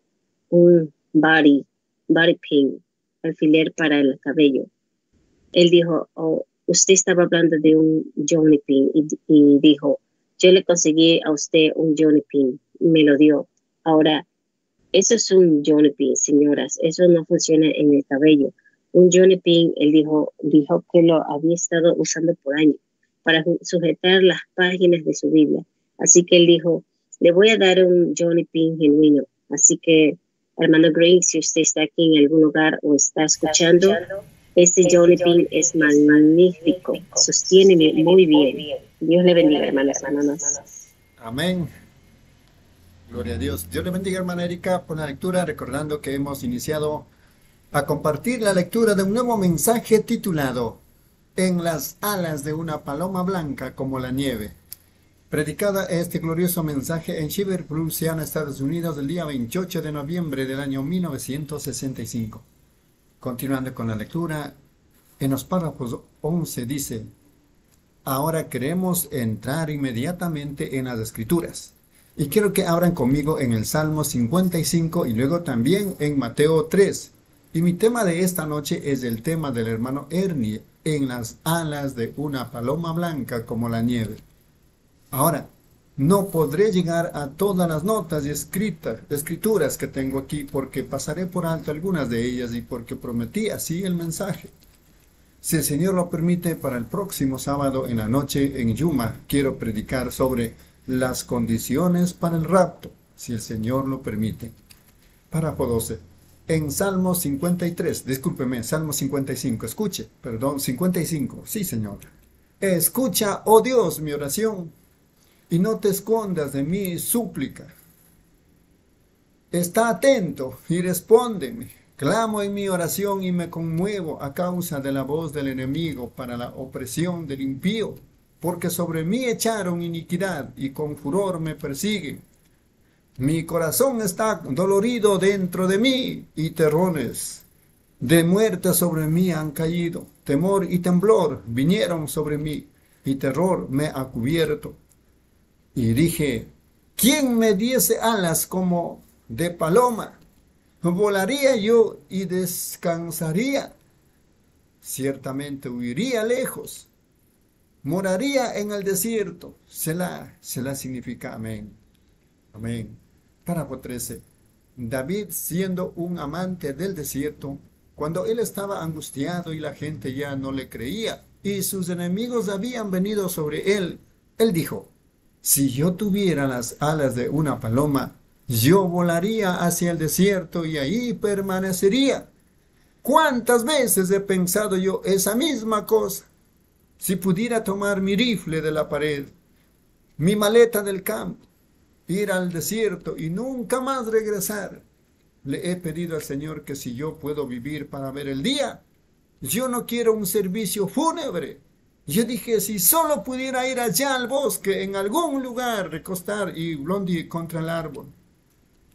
Ese es mi rifle. Perdónenme, yo dije eso por causa de que mi esposa está ahí sentada. Ustedes saben, Ese rifle me lo dio un hermano aquí hace años. He matado 55 animales con él, sin fallar un solo disparo. Algunos de ellos desde 700 a 80, 800 yardas, 731 metros.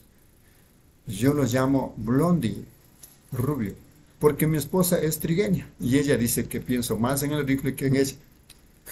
Pero, así que, me gustaría recostarlo de un árbol y decir, Señor, permite que José lo encuentre algún día. Me gustaría tomar las alas de una paloma e irme volando. Pero así como en una ocasión cuando estaba ya arriba en las montañas, observando a un águila y viéndola volar, ustedes saben mi historia de eso. Dije, es bueno estar aquí, Señor, como dijo Pedro. Podríamos construir aquí tres tabernáculos, pero abajo, al pie de la montaña, los enfermos y los afligidos están esperando, los perdidos y los moribundos están esperando.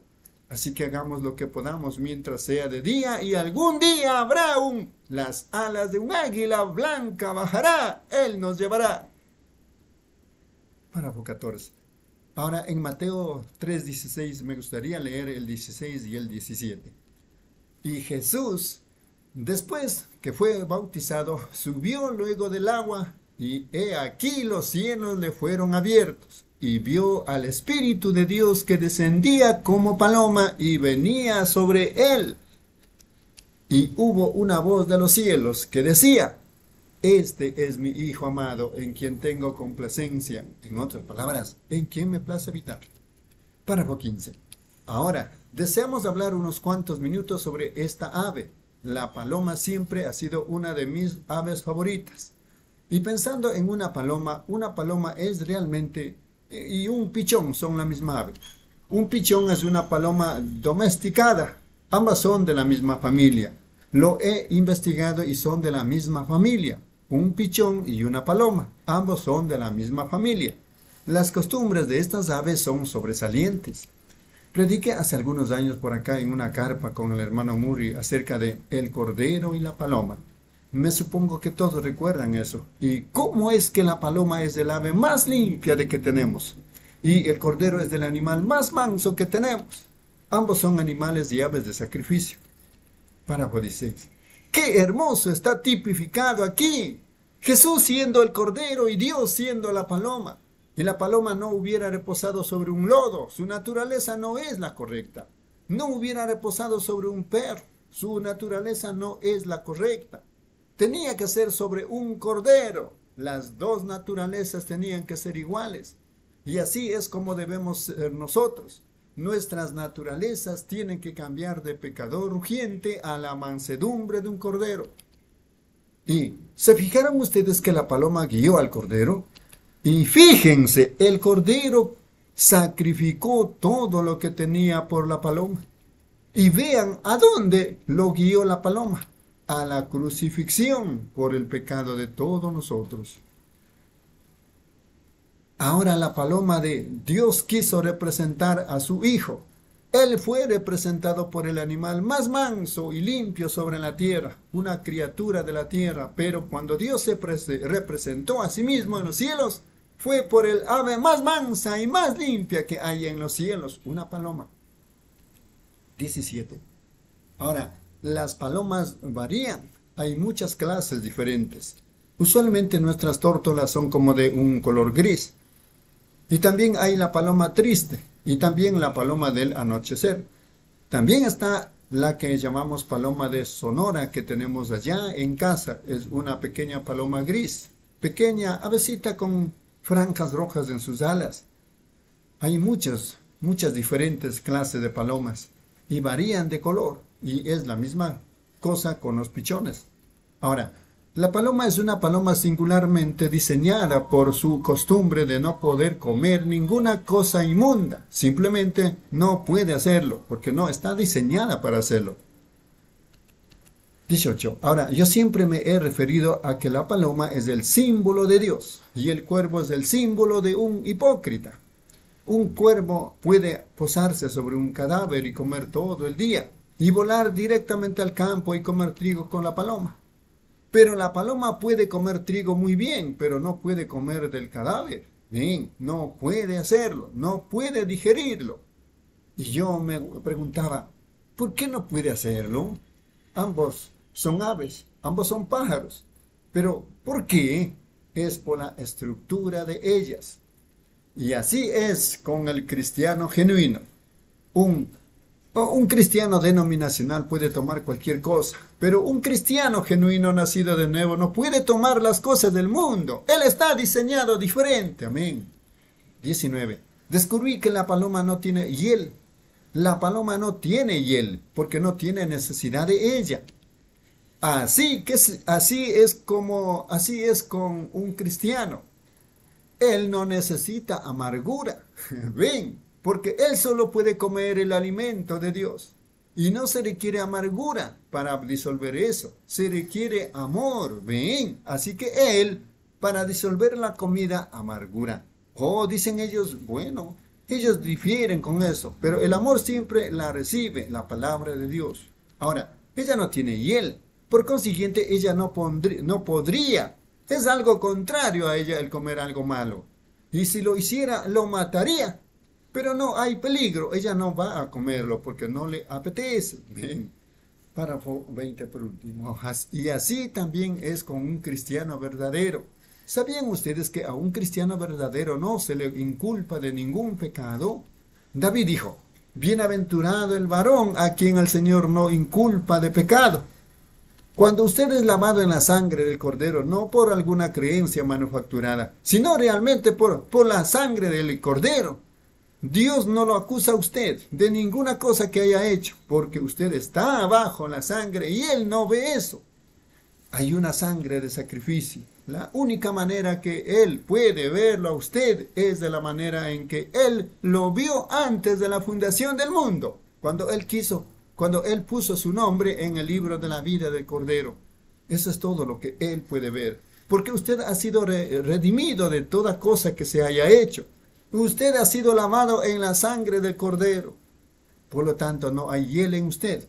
No hay hábito inmundo en usted, por cuanto la sangre del cordero ha hecho esto, y Dios no puede inculparlo a usted de pecado, al tener usted ahí una ofrenda por el pecado esperándolo. Bueno, dice usted entonces, eso me da bastante oportunidad, hermano Branham. Yo puedo hacer lo que yo quiero. Yo siempre lo hago, siempre. Pero cuando un hombre puede ver realmente lo que Jesús ha hecho por él y se da la vuelta y hace algo contrario a él, eso muestra que él nunca recibió a Cristo. Amén. Amén, mis amados hermanos y hermanas. Qué glorioso mensaje y glorioso tiempo que vivimos. Estamos lecturando y compartiendo la lectura de este glorioso mensaje titulado En las alas de una paloma blanca como la nieve. Servicio realizado en Shiverpool, Luciana, Estados Unidos, día 28 de noviembre del año 1965. A continuación, hermana Reina, por favor, en los párrafos 21 al 30.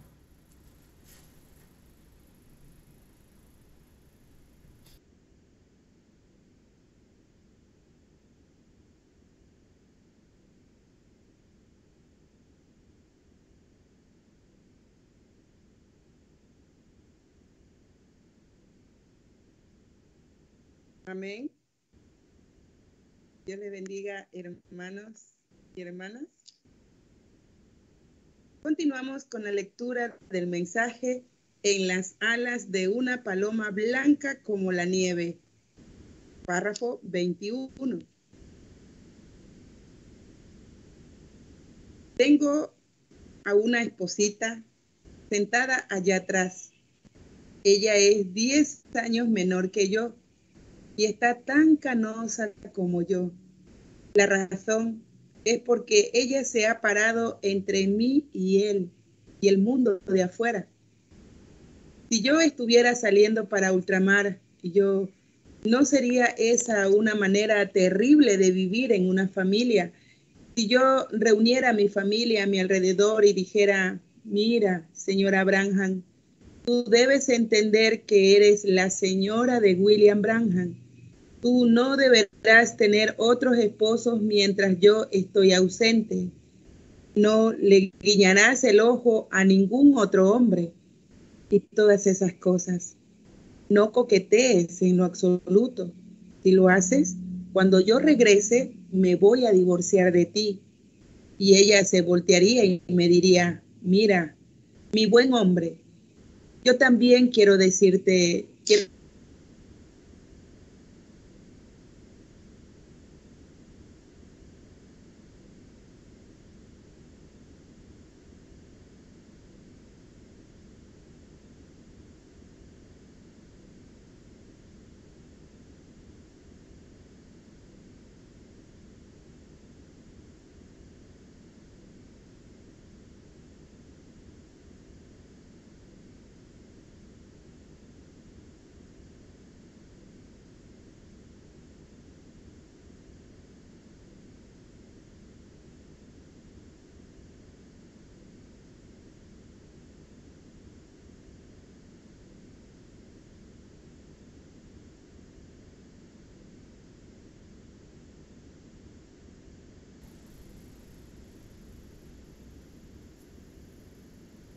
Mil disculpas por la interrupción. Continuamos con la lectura, hermana Reina. Amén, amén. Continuamos. Mensaje en las alas de una paloma blanca como la nieve. Y ella se voltearía y me diría, mira, mi buen hombre, yo también quiero decirle algo. Tú no deberás salir con ninguna otra mujer mientras estás ausente, tú no deberás hacer esto y aquello. Si lo haces, considérate divorciado cuando regreses a casa. Ahora, ¿no sería esa una familia adorable? ¿Ven? No. Si yo realmente la amara a ella, aunque yo creo que si yo cometiera algún error y tropezara e hiciera algo equivocado, yo creo que ella me lo perdonaría porque ella me ama. Y si ella lo hiciera, yo creo que se lo perdonaría, ciertamente, porque la amo. Pero si yo la amo así, mientras yo la ame así, ella no tiene por qué preocuparse. Aunque ella me perdonaría, yo no la, lastimaría por nada. Yo, yo me sentiría el hombre más culpable del mundo. No podría esperar el momento para poderle decir lo que he hecho, porque la amo. Bueno, eso es, si yo la amo así, con el amor filio, ¿cuánto más grande sería mi amor ágape por Jesucristo? 22. Aunque yo pudiera fumarme un cigarrillo, nunca lo he hecho en mi vida, pero aunque lo hiciera, Él pudiera perdonarme por eso. Yo creo que Él lo haría. Si yo me tomara un trago, nunca lo he hecho en mi vida, pero yo creo que Él me perdonaría por eso y yo lo amo muchísimo. Dios me ayude. Yo no quiero hacer algo como eso, ¿ven? Porque yo lo amo a Él. Esas cosas no están en mí. Porque cuando Él me cambió de un cuervo a una paloma, eso marcó una diferencia. Mi apetito y esas cosas salieron de mí. Entonces no me es inculpado pecado porque no es mi intención hacer eso. No está en mí el hacerlo.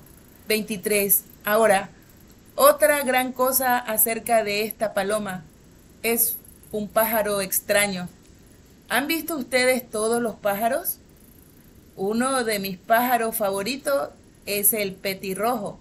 Ahora, ustedes muchachos, dejen de dispararles a mis petirrojos, ¿ven? Porque no quiero que hagan eso. Mi petirrojo, ¿saben cómo se le volvió rojo el pecho? Ustedes saben, un día estaba muriendo un hombre en la cruz. Nadie lo ayudaba. Dios había abandonado a ese hombre y él se estaba muriendo. Sus manos tenían clavos en ellas, sus pies y su costado sangrando, una corona de espinas sobre su cabeza, sangre corriendo por su cara. Y hubo un pajarito que pasó por ahí, un pajarito de color café, y él miró aquello. Era Pensó que esa era la escena más lastimosa que alguna vez había visto. Y él sabía que apenas era un pajarito, pero él vio esos grandes y crueles clavos romanos clavados en sus manos y voló y con su pequeño pico trató de sacarlos. Él se bañó todo el pecho de sangre. Desde entonces ha sido rojo. Yo quiero mi pecho protegido con su sangre también, defendiéndola cuando vaya a encontrarme con él. Yo amo al pequeño petirrojo. 24. Ustedes saben, un petirrojo tiene que bañarse, pero saben, una paloma no tiene que hacerlo, no. Ella tiene una clase de aceite por dentro que la baña y la mantiene limpia desde adentro para afuera. ¿Sabían ustedes eso? La paloma lo tiene. La paloma se limpia ella misma. ¿Alguna vez han recogido algún pichón o lo que sea y olido ese olor en él? Ese es el aceite que se produce adentro de él. Su cuerpo fabrica una glándula de aceite que mantiene sus plumas siempre limpias por fuera, porque está limpio desde adentro para afuera. Eso es verdad. Es un pajarito maravilloso. Ahora, yo sé que ustedes los pueden cazar aquí, creo, aquí en Luisiana. No hagan eso. Oh, yo no podría hacerlo. Creo que si tuviera hambre estaría bien, pero yo yo no podría apretar el gatillo contra, contra uno si tuviera que hacerlo. 25. Ahí, la paloma tiene que ver tremendamente en nuestra familia. Un día cuando mi abuela, ella es de Kentucky, de la reserva Cherokee, ella estaba muriendo, era una mujer pequeña y estaba, ellos tenían, creo que ellos lo llamaban escrófula, tumor frío de los ganglios, glándulas, amígdalas, linfáticos o algo así. Ella se estaba muriendo y mi abuelo se arrodilló al lado de la cama, mientras mamá, mi tía Birtie y mi tía Joliet, todos ellos se arrodillaron alrededor de la cama.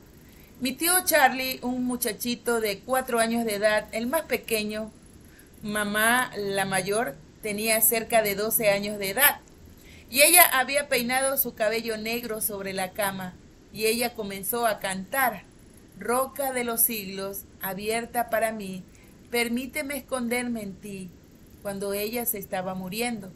Mi abuelo no era cristiano en ese tiempo. Yo lo bauticé a él cuando tenía 87 años de edad, en el nombre del Señor Jesucristo, al pie del río donde el ángel del Señor apareció. Pero mientras ella estaba cantando este canto con sus manos débiles levantadas en alto, una paloma voló por la puerta, voló alrededor, se posó sobre la cama y empezó a arrullar. Dios se llevó su alma. 26. Yo fui a Londres, Inglaterra, con el hermano Jacques y con el hermano Gordon Lindsay. Y había una mujer llamada Florence Nightingale.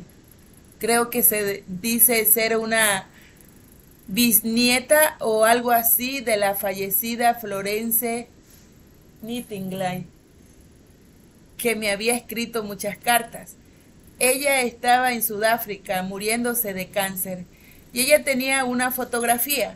Ustedes la han visto en el libro yo nunca he visto a un mortal así en mi vida. Creo que el hermano Jack estaba conmigo ese día. Fuimos a la casa de un ministro, a la casa pastoral, allá atrás de la iglesia a donde la habían traído. Mientras estábamos todavía fuera en el donde aterrizó el avión, nos llamaron y ella estaba ahí en una ambulancia. La habían traído desde, desde Sudáfrica sabiendo que yo venía a Inglaterra en ese tiempo. El ministro la llevó a la casa pastoral, así que nosotros fuimos allá atrás para orar por ella. 27. Yo he visto bastante gente enferma, pero sus bracitos no se miraban más de una pulgada de grueso. Uno podía ver dónde su, su cráneo se entrelazaba y ella, sus piernas, aquí, por sus caderas no pasaban de esto, como dos pulgadas de grueso, el puro hueso, y ella no podía levantar sus manos, estaba demasiado débil para levantar sus manos, y ella estaba tratando de decir algo y yo no le podía entender, y cuando finalmente pudo entenderle, creo que a través de una enfermera, ella dijo, hermano Branham, ore, para que Dios me deje morir. Ella no podía, no quería vivir, y yo noté y estaban corriendo lágrimas por los huesos de su cara. Yo no sé de dónde tuvo suficiente humedad para llorar, porque sus venas estaban hundidas y ella estaba en una condición terrible. Habiendo ido a orar por los enfermos, yo no podía orar para que ella muriera, pero parecía que ella no podía morir. Ella seguía agonizando. Me arrodillé con su pastor para orar ahí en el cuarto, y cuando me arrodillé para orar, una pequeña paloma voló junto a la ventana. Comenzó a arrullar. Cuando terminé de orar, pensé que era una paloma doméstica de algún lugar de por allí. Afuera había neblina, así es Inglaterra y las islas británicas allá. Y esta pequeña paloma dejó de arrullar y voló. Me acerqué y puse mis manos sobre ella e invoqué el nombre del Señor. Y aquella mujer es ahora una mujer grande, fuerte y saludable, en las alas de una paloma. Él se mantiene limpio desde adentro. Un cristiano también hace lo mismo. Él se limpia desde adentro. Eso aleja la malicia.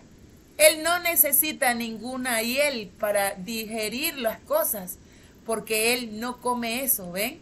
Él está limpio desde adentro. 28. Ahora notamos que este pájaro, tengo muchas cosas escritas aquí, pero el reloj sigue avanzando. Esta ave también era usada en el Antiguo Testamento para el sacrificio, para expiación y purificación. Veamos un caso aquí en Génesis 15:9. Pensemos en este versículo solo por un momento. Ahora, Abraham estaba aquí, él le preguntó a Dios, ¿cómo haría él esto? Y Dios le está dando su palabra a Abraham. Y él lo hace de una manera extraña comenzando como en el... Vamos a comenzar en el primer versículo. No me gusta apurar esto. Después de estas cosas vino la palabra de Jehová a Abraham en visión. ¿Ven? Abraham era un profeta, de modo que él veía visiones. No temas, Abraham, yo soy tu escudo y tú tu galardón, sobremanera grande. Jehová Nisi, ¿ven? Y respondió Abraham, Respondió, Señor Jehová, fíjense, S mayúscula, Señor Jehová, Elohim, ven, Señor Jehová, en la visión. ¿Qué me darás siendo así que ando sin hijo y el mayordomo de mi casa es ese Damaselo Eliezer? Dijo también Abraham, mira que no me has dado prole, y he aquí que será mi heredero un esclavo nacido en mi casa. Luego vino a él palabra de Jehová diciendo, no te heredará este. Ya le había hecho una promesa a él, ustedes saben, ¿no? ¿Ven? Ahí mismo Abraham hubiera fallado, pero la promesa es incondicional, el pacto incondicional. Sino un hijo tuyo será el que te heredará. Y él ya tenía 100 años de edad y lo llevó afuera y le dijo, mira ahora los cielos y cuenta las estrellas, si las puedes contar. Y le dijo, así será tu descendencia. Un hombre sin una criatura y con cien años de edad. Y creyó a Jehová y le fue contado por justicia. Y le dijo, yo soy Jehová, que te saqué de Ur de los caldeos, para darte a heredar esta tierra. Y él respondió, Señor Jehová, ¿en qué conoceré que la he de heredar? Ahora escuchen esto. Y le dijo, tráeme una becerra de tres años y una cabra de tres años. Fíjense en los tres ahora, tres años de edad. Y un carnero de tres años, una tórtola también y un palomino. Ambos son la misma gente, la misma cosa, ¿ven? Fue usado en un sacrificio que estaba tipificando a Jesús. 29. El pacto fue hecho, ustedes saben, cómo Él los partió y cómo es que esto, o los tiempos antiguos, cuando ellos tomaban hacían un pacto. Ellos tomaban y redactaban el acuerdo y mataban un animal, separaban en medio, rasgaban el pacto en dos. Una persona tomaba una parte, como solían hacerlo en las lavanderías de los chinos. El hombre chino, él no sabía escribir en inglés, así que él escribía allí y rompía un pedazo de papel y le daba a usted una parte. Y ustedes recuerdan cuando las lavanderías chinas solían hacer eso. Y usted, las dos partes tenían que coincidir para conseguir su ropa. ¿Ve? Usted no lo podía engañar a él, porque él tenía el otro extremo de ello. Usted quizás podría copiar su nombre, pero no podría romper nuevamente ese papel. ¿Ven? Así que él tenía, tenía que ser el mismo pedazo de papel. Así que así es como lo hacían en los días en el oriente, hace o hace bastante tiempo en los tiempos del este. Mataban un animal, separaban en medio, partían la piel de cabra en dos, y uno tomaba una, y cuando el pacto era confirmado, juntaban esos pedazos y ellos tenían que empalmar exactamente 30. Ahora, lo que Dios le está mostrando a él es esto. En estos sacrificios está hablando de Cristo, de cómo Dios llevó a Jesús al Calvario y lo rasgó, y recibió el cuerpo en el cielo y envió su espíritu sobre nosotros, para que el mismo espíritu que estaba en él tiene que estar en usted, para empalmar con el cuerpo, para ser la novia en el tiempo del fin. ¿Ven? Correcto, ¿ven? Y no será una denominación, será la palabra, lo que Él era, ¿ven? Pero así como esa palabra tiene que venir a la palabra como las células de, en un ser humano. Ustedes saben, cuando el cuerpo de usted está siendo construido, no es una célula de humano y luego una de perro y otra de cerdo. Oh, no, no. Todas son células humanas. Así es el cuerpo de Cristo, toda la palabra de Dios, no solo una parte de ella, con alguna tradición agregada a ella, no, es todo el cuerpo de Cristo. Ahora encontramos aquí que Él usó ambos, a una tórtola y a un palomino, porque ellos son de la misma familia. Ahora uno siempre, Dios les bendiga mis hermanos, amén Amén. Dios le bendiga, hermana Reina, la lectura. Continuamos compartiendo en esta tarde, noche, este glorioso mensaje titulado En las alas de una paloma blanca como la nieve. Servicio realizado en Liverpool, Luciana, Estados Unidos, el día 28 de noviembre del año 1965. A continuación, hermana Erika, por favor, en los párrafos 31 al 40.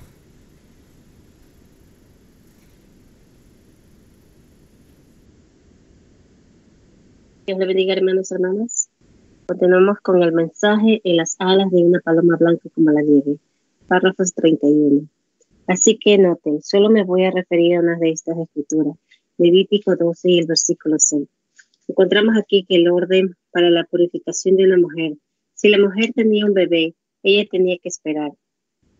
Si era un niño, tenía que esperar 33 días para poder entrar en la congregación con las palomas para purificación. Si ella tenía una niña, tenía que esperar 96 días antes de que pudiera entrar en la congregación. Ahora, encontramos aquí el versículo 6.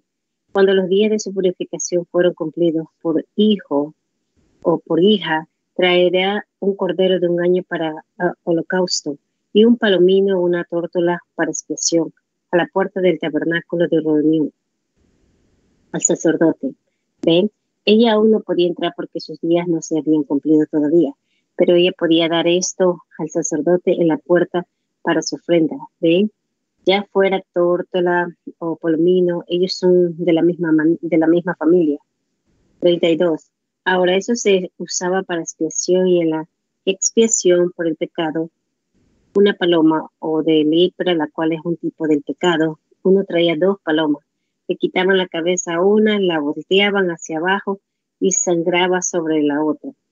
Entonces a la otra la soltaban. Cuando la paloma volaba, bañaba el suelo con la sangre de su compañera. La sangre clamaba a Dios, Santo, Santo es el Señor Dios. ¿No pueden ustedes ver a Jesucristo, el compañero moribundo? Fue muerto y rociado sobre nosotros para que pudiéramos salir libres, clamando, Santo, Santo, Santo es el Señor. Qué hermosos tipos. Yo desearía tener más voz. 33. Ahora tipifiquemos el, al gran Espíritu Santo, tal como lo leímos en Apocalipsis 3:16. Esta palabra era usada por Dios como señal.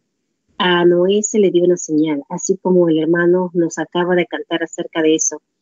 Dios se disgustó y no había nada que pudiera detener su ira, porque él, él dijo, el día de que, que de él comieres, ese día morirás. Y Noé había hallado gracia ante Dios y había construido un arca de acuerdo a las construcciones, a las instrucciones, mejor dicho, que Dios le había dado. Y él flotó por encima. Puedo imaginarme su, lo que pasó en aquellos días cuando ellos decían, este viejo loco allá en la colina, un viejo fanático, construyendo un arca, diciendo va a llover, pero nunca ha llovido, pero Noé dijo, va a llover de todos modos. Y yo sé que el día en que él entró, creo que no recuerdo el día que fue, creo que fue el 17 de mayo. Noé entró en la arca y Dios cerró la puerta. Y las nubes comenzaron a venir y las lluvias empezaron a caer, los drenajes comenzaron a llenarse, las fuentes del abismo se rompieron, todos los manantiales vomitaron sus aguas. Finalmente la gente entró a, a las casas, se subieron arriba, el arca estaba parada allí exactamente igual. Después de un tiempo, cuando había suficiente a su alrededor, comenzó a elevarse más y más alto. La gente tocó la puerta y gritaba, pero nada, nada le sirvió. Noé no podía abrir la puerta. Dios la cerró y Dios era el único que podía abrirla. Así es con nuestra arca. Jesucristo, Dios abrió la puerta para nosotros en el Calvario. Él la cerrará tan cierto como que Él la abrió. 34 y flotó y siguió y siguió quizás unas millas de profundidad sobre, la, sobre el nivel de la Tierra, cuando esta Tierra estaba desviándose de su camino, de la de su órbita normal, e iba girando y girando y troncos y árboles sobre las montañas y demás, desciéndose por 40 días y 40 noches. Cuando los vientos comenzaron a cesar, la ira de Dios es horrible, su amor es puro y divino, y su ira es así de divina, así de divina como es su amor, porque Él tiene que pronunciar juicio, porque Él es un juez, Él es un dador de ley, y ley sin castigo no es ley.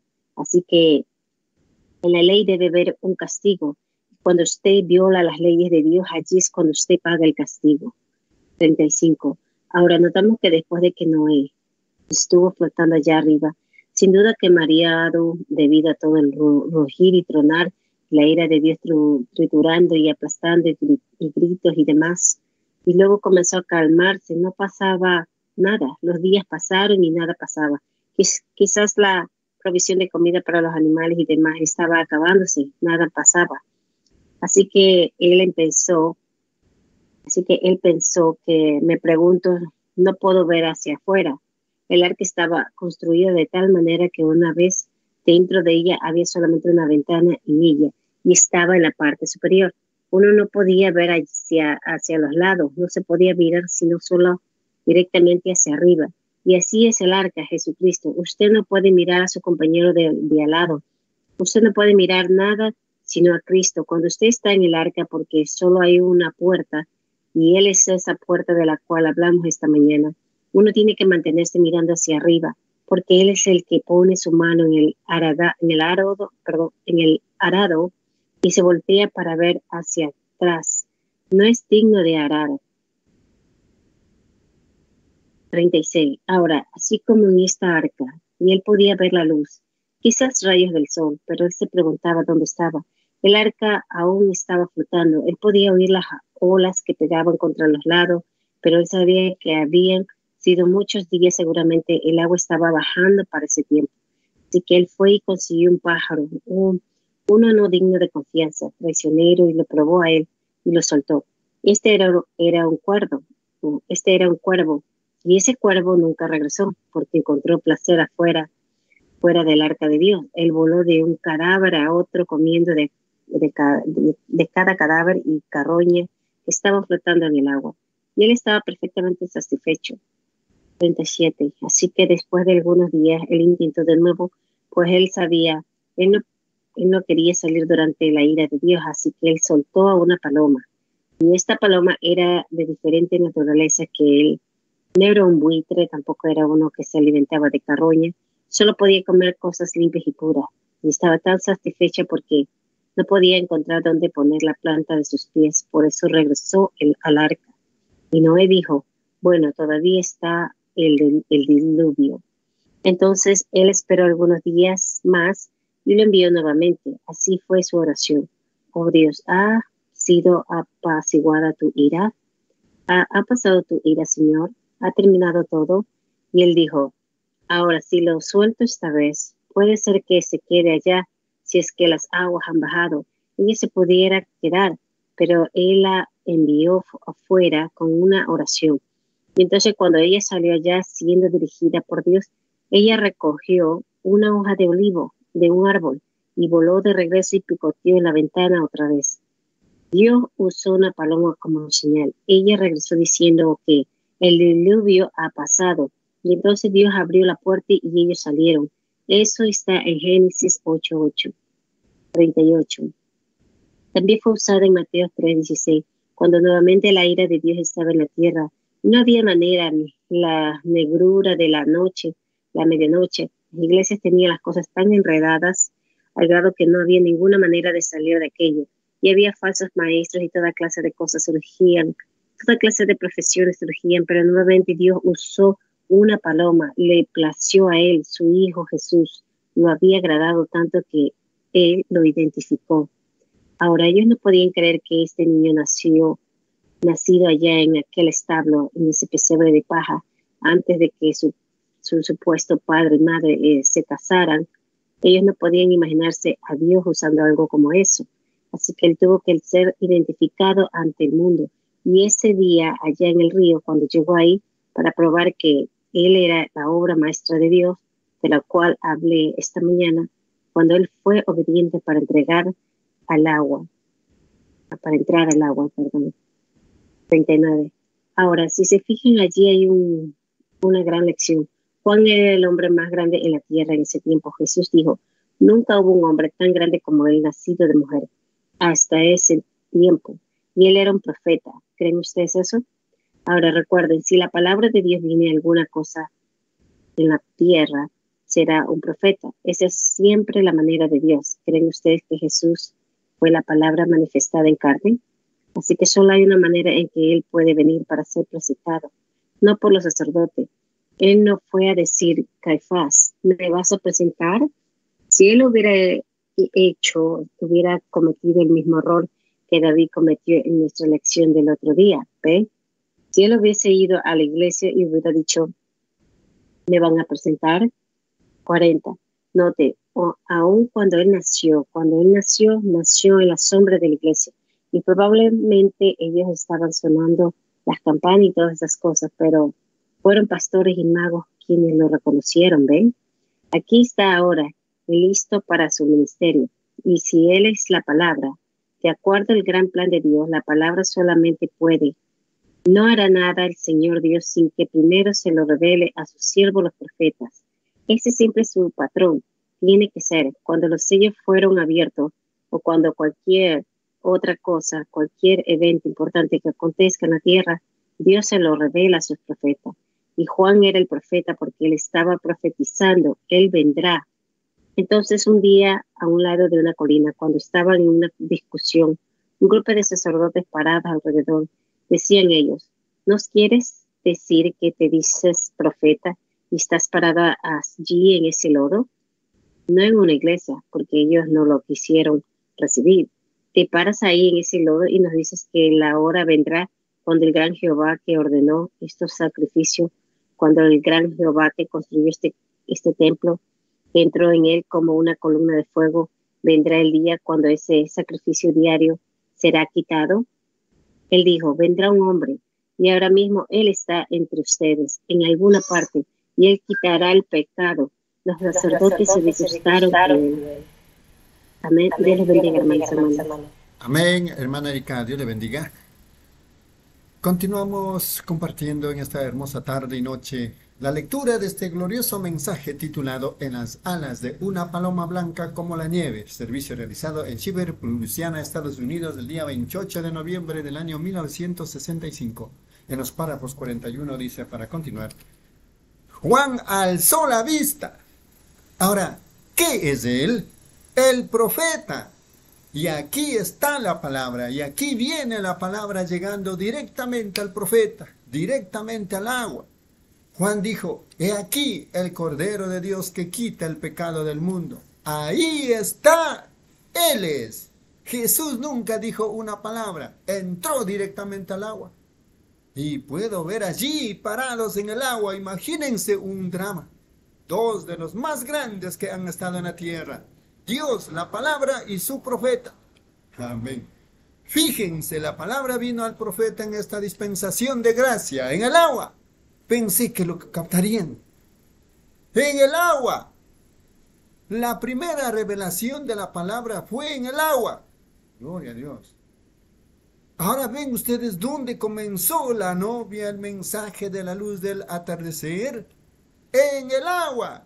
La palabra la palabra verdadera, no mezclada con credo, sino que vino al profeta en el agua, por el agua. Amén. Párrafo 42. Fíjense, ¿se pueden ustedes imaginar los ojos de la palabra haciendo contacto con los ojos del profeta en el agua? Oh, eso es demasiado para mí. Ahí estaba el profeta. Acá estaba la palabra, mirándose el uno al otro a los ojos. Y dijo el profeta, yo necesito ser bautizado por ti. ¿Por qué vienes tú a mí? Y la palabra dijo, tiene que ser verdad. Ahora déjeme hacer un drama aquí. Juan, tú eres un profeta. Tú conoces la palabra. Ven. Tú me reconoces. Tú sabes quién soy yo. Yo tengo necesidad de ser bautizado por ti, dijo Juan. Jesús dijo, deja que así sea. Eso es exactamente correcto. Tú tienes necesidad de ser bautizado por mí. Pero recuerda, Juan, siendo tú un profeta, nos corresponde a nosotros o nos conviene como la palabra y el profeta que cumplamos toda palabra, amén. Porque Juan, ahora aquí está la revelación. Juan, tú sabes quién soy. Yo soy el sacrificio. Y de acuerdo a la palabra de Dios, el sacrificio tenía que ser lavado antes de que fuera a ser presentado como sacrificio. ¿Es cierto eso? La palabra, el cordero era lavado y luego presentado como sacrificio, y yo soy ese cordero. Y debo ser lavado antes de que yo pueda ser presentado al mundo como sacrificio. Deja que así sea, Juan, porque esto nos conviene a nosotros, como la palabra y el profeta juntos. Gloria a Dios. 43. Bueno, ahí no puede haber ningún error. Ahora, cada una de estas cosas. Ahora, vean, si uno, si no hubiera sido así el cuadro, Juan hubiera sido como cualquiera de nosotros. Así que dicen, sí, yo sé quién eres tú, Señor. Bueno, dijo él, espera un momento, yo soy la palabra. ¡Ja, No solo de pan vivirá el hombre, sino de toda palabra. Eva dejó fuera una sola, pero tú tienes que tomar toda palabra. Y yo soy ese sacrificio y tengo que ser lavado antes de ser presentado. Pero lo que tú dices, Juan, es cierto. Juan, siendo un profeta, sabiendo que la palabra tenía que ser cumplida, aceptó eso y lo bautizó. Amén. Y cuando fue levantado del agua, vino bajando un mensaje del cielo en las alas de una paloma. Este es mi Hijo amado, él envió el mensaje redentivo de gracia en las alas de una paloma que vino volando del cielo. Paz en la tierra, buena voluntad para con los hombres. Entonces el sacrificio estaba listo, había sido criado, alimentado, Su ministerio estaba listo, una palabra que habría de redimir al mundo entero. Consumado es. Gloria a Dios. 44. La paloma es usada en la Biblia como un símbolo de paz y también es usada por las naciones como un símbolo de paz. Nosotros tenemos naciones. Nuestra nación es representada por un águila y hay otros pájaros en otras naciones. Roma tiene un águila, Alemania tiene un águila, muchos de ellos grandes aves del cielo, pero de todos ellos la paloma simboliza paz en todas las naciones, es algo universal. Así como dijo el hermano Green una noche, el hermano Pierre Green dijo, el símbolo de rendición es levantar su mano en cualquier nación, usted levanta su mano, se rinde. Él dijo, cuando canten, levanten sus manos. Ustedes así rindanlo todo. Amén, gloria a Dios. Y la paloma es el símbolo de paz en toda nación. ¿Por qué es así? Por causa de su mansedumbre y por su inocencia. Por eso es que simboliza la paz. Párrafo 45. Otra cosa acerca de la paloma es que es una ave que ama el hogar, ama quedarse en casa. Y otra cosa, siempre es fiel a su compañero. La paloma, hembra o macho, nunca se dejan el uno al otro. Esa hembra encuentra a su compañero en la época de apareamiento. Bien, eso es complementario a la gran creación de Dios. Por eso es que hizo a Eva como un subproducto. Ven, si ella hubiera sido hecha como otras hembras, cuando llegara el tiempo del apareamiento, ella hubiera encontrado a su compañero, pero ella podía cualquier hora. Ven, y así es. Eso es lo que es. Yo simplemente no queremos entrar en eso porque lo tengo en casamiento, divorcio y demás. ¿Y cómo es que, sin embargo, ella es honrosa y trajo esa virtud. Y ustedes saben cómo lo prediqué la otra noche. Muy bien, noten que ella tiene una gran responsabilidad. Pero la paloma siempre es fiel a su compañero. Siempre, nunca lo deja. 46. Y permítanme detenerme aquí por un momento para decir esto. Una verdadera novia, una paloma femenina, es fiel a su compañero también no introducirá ningún dogma, ninguna doctrina denominacional, ninguna cosa del mundo. Permanecerá fiel a su compañero, la palabra, siempre fiel. Y por esta conducta de que ama estar en casa, por esta conducta de amor por el hogar, ha sido usada como paloma mensajera, con mucho éxito porque ama al hogar. Usted puede soltarla en cualquier lugar y siempre regresará al hogar, regresará a casa.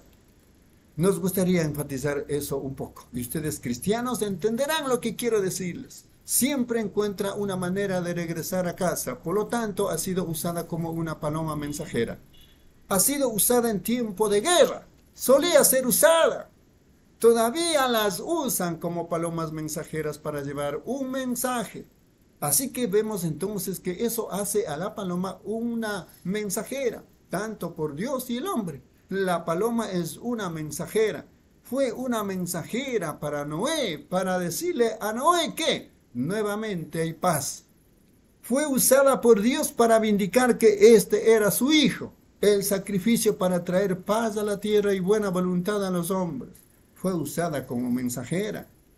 47. Ahora mismo tengo una pequeña historia en mi mente que leí una vez en un libro. Ahora, no quiero decir esto, es seguro. Es posible que esté en la caída de la Primera Guerra Mundial. No estoy muy seguro de eso. Si usted no la encuentra, entonces es que estoy equivocado. O, lo leí en un libro. Hace muchos años. Pero fue ciertamente una, realmente una, una cosa dramática lo que pasó. Los soldados americanos estaban acorralados por el fuego de las ametralladoras alemanas y ellos estaban en una especie de fosa.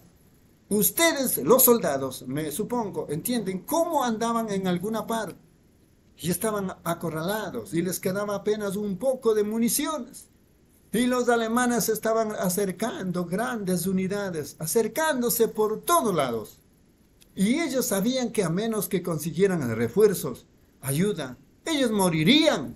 No había salida. Los alemanes venían descendiendo de la colina, mirándolos directamente, avanzando directamente hacia ellos. Párrafo 48. Y uno de ellos se acordó que tenía una pequeña mascota, un pequeño pichón. Así que él sabía que si este pichón podía salir de allí, él llevaría el mensaje al cuartel general a donde ellos habían estado acampados. Así que se sentaron y escribieron en una nota. Estamos acorralados en cierta posición, en cierta área.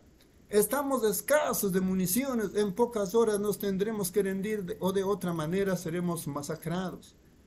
Y ellos sujetaron esto o lo amarraron en la pata de esta palomita y la soltaron. Ahora, él es una ave que ama el hogar.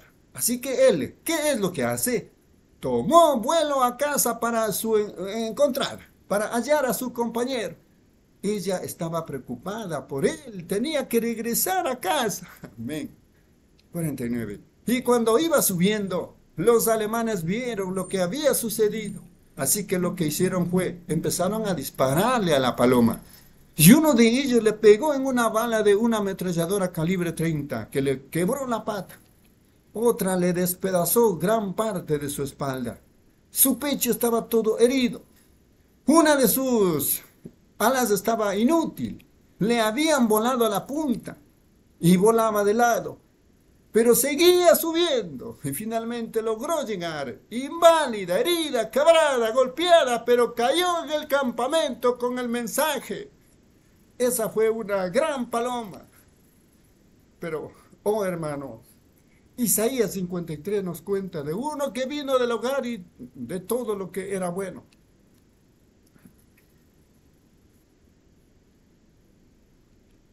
Mas el herido fue por nuestras rebeliones, molido por nuestros pecados. El castigo de nuestra paz fue sobre él, y por su llaga fuimos nosotros curados enfermedad, superstición y demonio nos tenían aprisionados. No había manera de escaparnos. La iglesia había errado. Se habían apartado con cosas denominacionales y los fariseos, saduceos y el lavamiento de ollas y sartenes y la palabra de Dios no tuvo ningún efecto. Pero esta pequeña paloma descendió y solo podía suceder una cosa. Tenía que haber un redentor aunque estando herido, destrozado, golpeado, rasgado, no obstante, él sabía cómo regresar a casa. Así que de la cruz del Calvario en donde lo golpearon, lo hirieron, lo destrozaron, como un montón de lobos sobre él. Él tomó su vuelo del Calvario y llegó a las puertas de los cielos, diciendo, consumado es, consumado es. Ellos son libres la enfermedad puede ser salada ahora. Los pecadores pueden ser salvos. Los cautivos pueden ser libres. Aunque él fue golpeado y herido, aquella gran batalla cuando aún todo estaba en contra de él, también el poeta exclamó, entre rocas partidas y cielos oscuros, mi Salvador inclinó su cabeza y murió pero el velo abierto reveló el camino al gozo celestial y día sin fin. 51. He sido un neurótico toda mi vida. Cuando era un muchachito hubo algo que me pasó, que me asustó. Como cada siete años me pasaba eso. El hermano Jack se acuerda cuando comencé. Me retiré del campo por un año. Algo pasó. Recuerdo el día que Juanita Hempir creo que su nombre es Juanita Kelly ahora. Kelly ahora. Después de la muerte de su esposo, se casó con el hermano Kelly, Ana Jenny. Yo tengo sus fotografías y cosas. Era muy... Y su, la hermana Mori y esos dos jóvenes tenían un pequeño trío. Ellas cantaban ese canto que nunca olvido. Mirando más allá de la puesta del sol. Hermano, ya hubo... Usted se acuerda, creo que viniendo de Florida. ¡Qué jóvenes tan finas! Y recuerdo esta mañana a un pequeño grupo pentecostal provenientes de la parte norte del país, de algún lugar de Michigan. Esas jóvenes estuvieron allí cuando el hermano Hope lo vi la otra noche aquí, yo puedo decir que no esté aquí ahora, el hermano Ed Hope. ¿Está usted aquí, hermano? Usted, él, no creo que él, él estuvo aquí la otra noche. Nadie, muchos de ustedes lo conocen. Él y yo y el hermano Holly estábamos saliendo. Y esas jóvenes estaban paradas ahí en la esquina cantando y nos dieron a cada uno una rosa amarilla. Se casaron de su, perdón, que sacaron de su cabello. Ahí fue donde aquel maniático fue sanado. Allá sucedieron grandes cosas. Venía por el camino tan feliz como podía estarlo. De repente me pegó eso. Un año entero pasó antes de que yo entrara otra vez al campo. Casi me mata. Desde niño, siempre he dicho que yo no sabía lo que era una visión. Cuando era un muchachito, yo siempre decía, si yo, si yo solamente cayera en uno de esos trances y viera eso, me pondría bien. Esa ocasión, yo siempre quise ir a la clínica Mayo para ver qué estaba mal. Los doctores allá. Mi estómago se pone ácido y, oh hermano, el hermano ya me ha ayudado en la casa. Caminaba alrededor de la casa y algo como agua grososa, caliente saliendo de mi boca. Llegaba al púlpito y oraba que por, por gente que estaba dos veces más enferma y sanaban. He hecho que ponga mis manos sobre un hombre con un cáncer en su cara y el cáncer cayó de su cara estando parado allí. Y yo estaba tan enfermo que ni siquiera podía mantenerme de pie. 54. Y usted no sabe lo que yo he sufrido. Opresión mental. Toda mi vida. Eso ha sucedido cada siete años. Ahí es donde estoy ahora. Ocho veces siete. Así que yo estaba tan angustiado. Lloré, rogué, supliqué. Y recuerdo cuando finalmente pensé que tenía suficiente dinero para ir a hacerme un examen a la clínica Mayo. Me decían, ellos encontrarán cuál es tu problema. Mi esposa y yo y Becky allá atrás. Sara era una niña pequeña. Yo apenas había entrado a mi Ministerio de Sanidad y fuimos a la clínica Mayo. Pasé por la clínica y la noche antes de saber, tendría mis últimos exámenes la siguiente mañana. Apenas desperté y estaba sentado ahí en la cama mirando alrededor. Y vi enfrente de mí y ahí estaba un muchacho pequeño, se miraba igual que yo, como de siete años, y lo miré y era yo. Y él estaba parado junto a un viejo tronco de árbol. Y en ese árbol, y cualquiera de ustedes que son cazadores de ardillas saben que ustedes pueden frotar un, un, tronco de arriba para abajo, así, en un árbol. Y eso asustará a la ardilla y correrá para afuera si está dentro del hueso, del hueco, perdón. Y yo estaba viendo allá donde había estado la ardilla y pensé, ¿qué clase de ardilla es esa? Y lo froté. Y cuando lo hice, me fijé y entonces yo era como de 38 años. El muchachito ya no estaba. Entonces froté esa rama y del hueco del tronco del palo salió una pequeña ardilla como así de larga, oscura, casi negra. Y parecía como que pequeñas corrientes volaban de ella, ojos pequeños como botoncitos. La cosa más perversa que yo haya visto. Se parecía más a una comadreja que a una ardilla. 56 y miró directamente hacia mí. Y yo abrí mi boca como para decir, ah, bueno. Y cuando lo hice, ella, antes de que no pudiera parpadear, saltó a mi boca, bajó a mi estómago y me estaba destrozando. Y cuando salí de la visión con mis manos en alto, mirando, comencé a gritar, ¡Oh Dios, ten misericordia! Me está matando.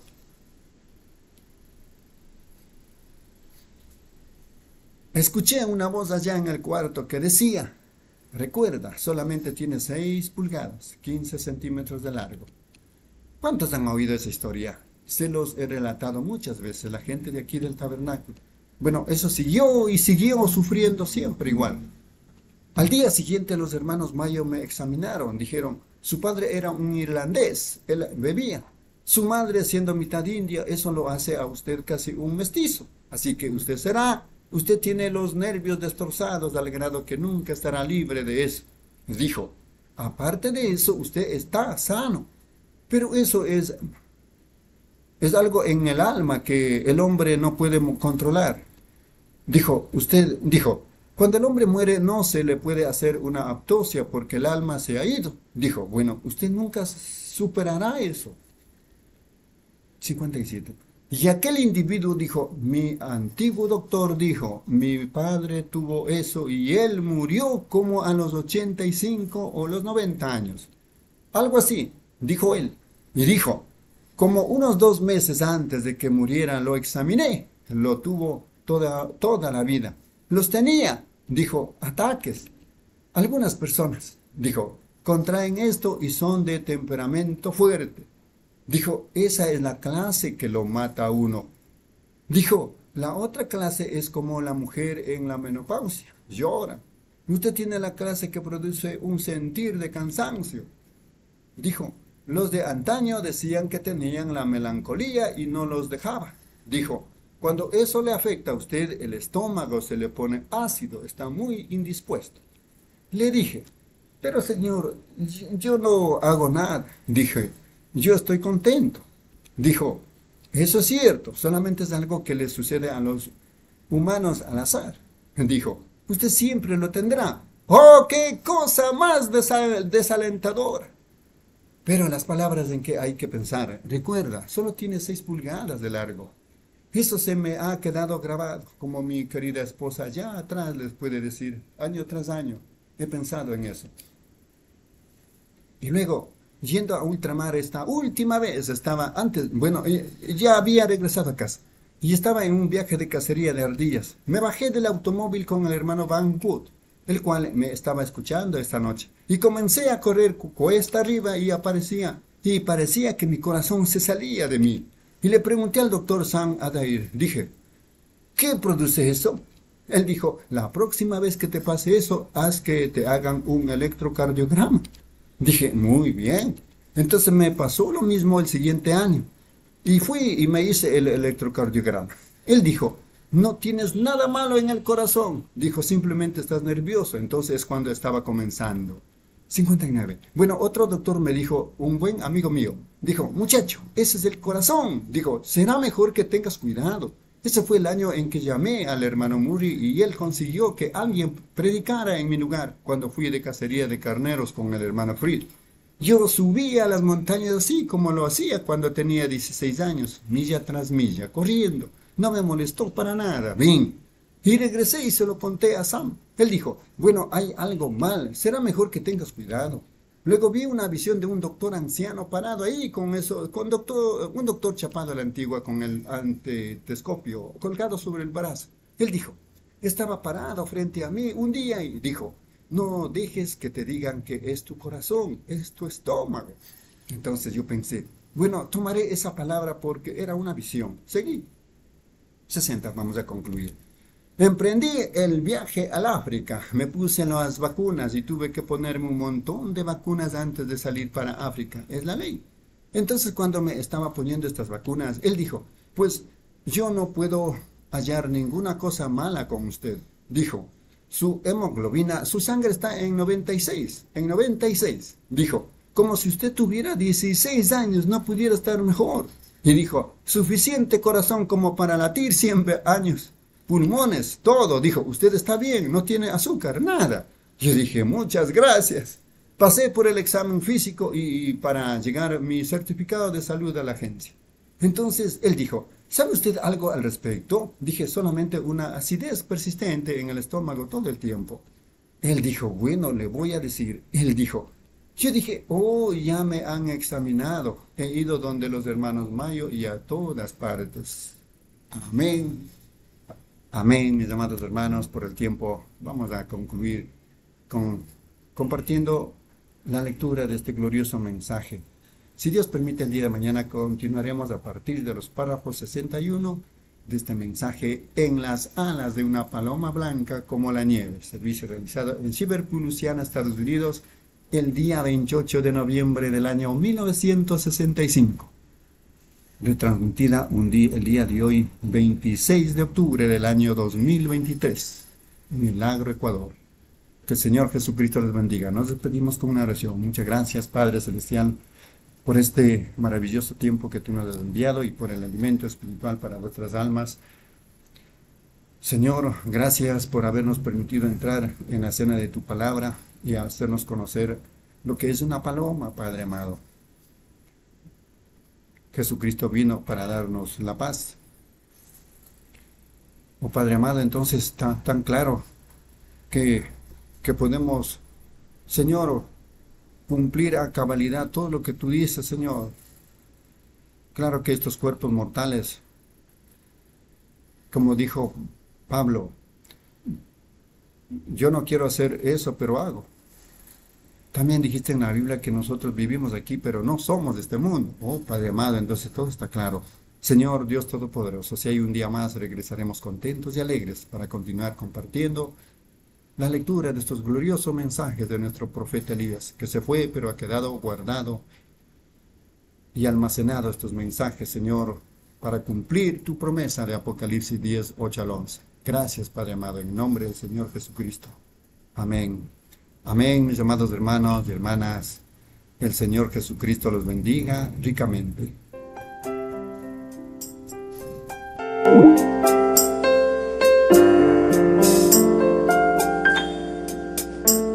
Vivía en un mundo de vergüenza y pecado que solo me dio dolor y aflicción.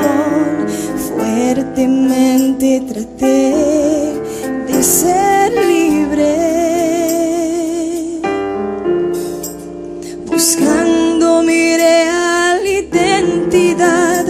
sabía que vine de la eternidad hasta que Dios me lo reveló a mí. En las alas de una paloma blanca, Dios envió su dulce amor. En las alas de una paloma lleva su águila al hogar. En las alas de una paloma blanca, Dios envió su dulce amor en las alas de una paloma blanca. Él lleva su águila al hogar.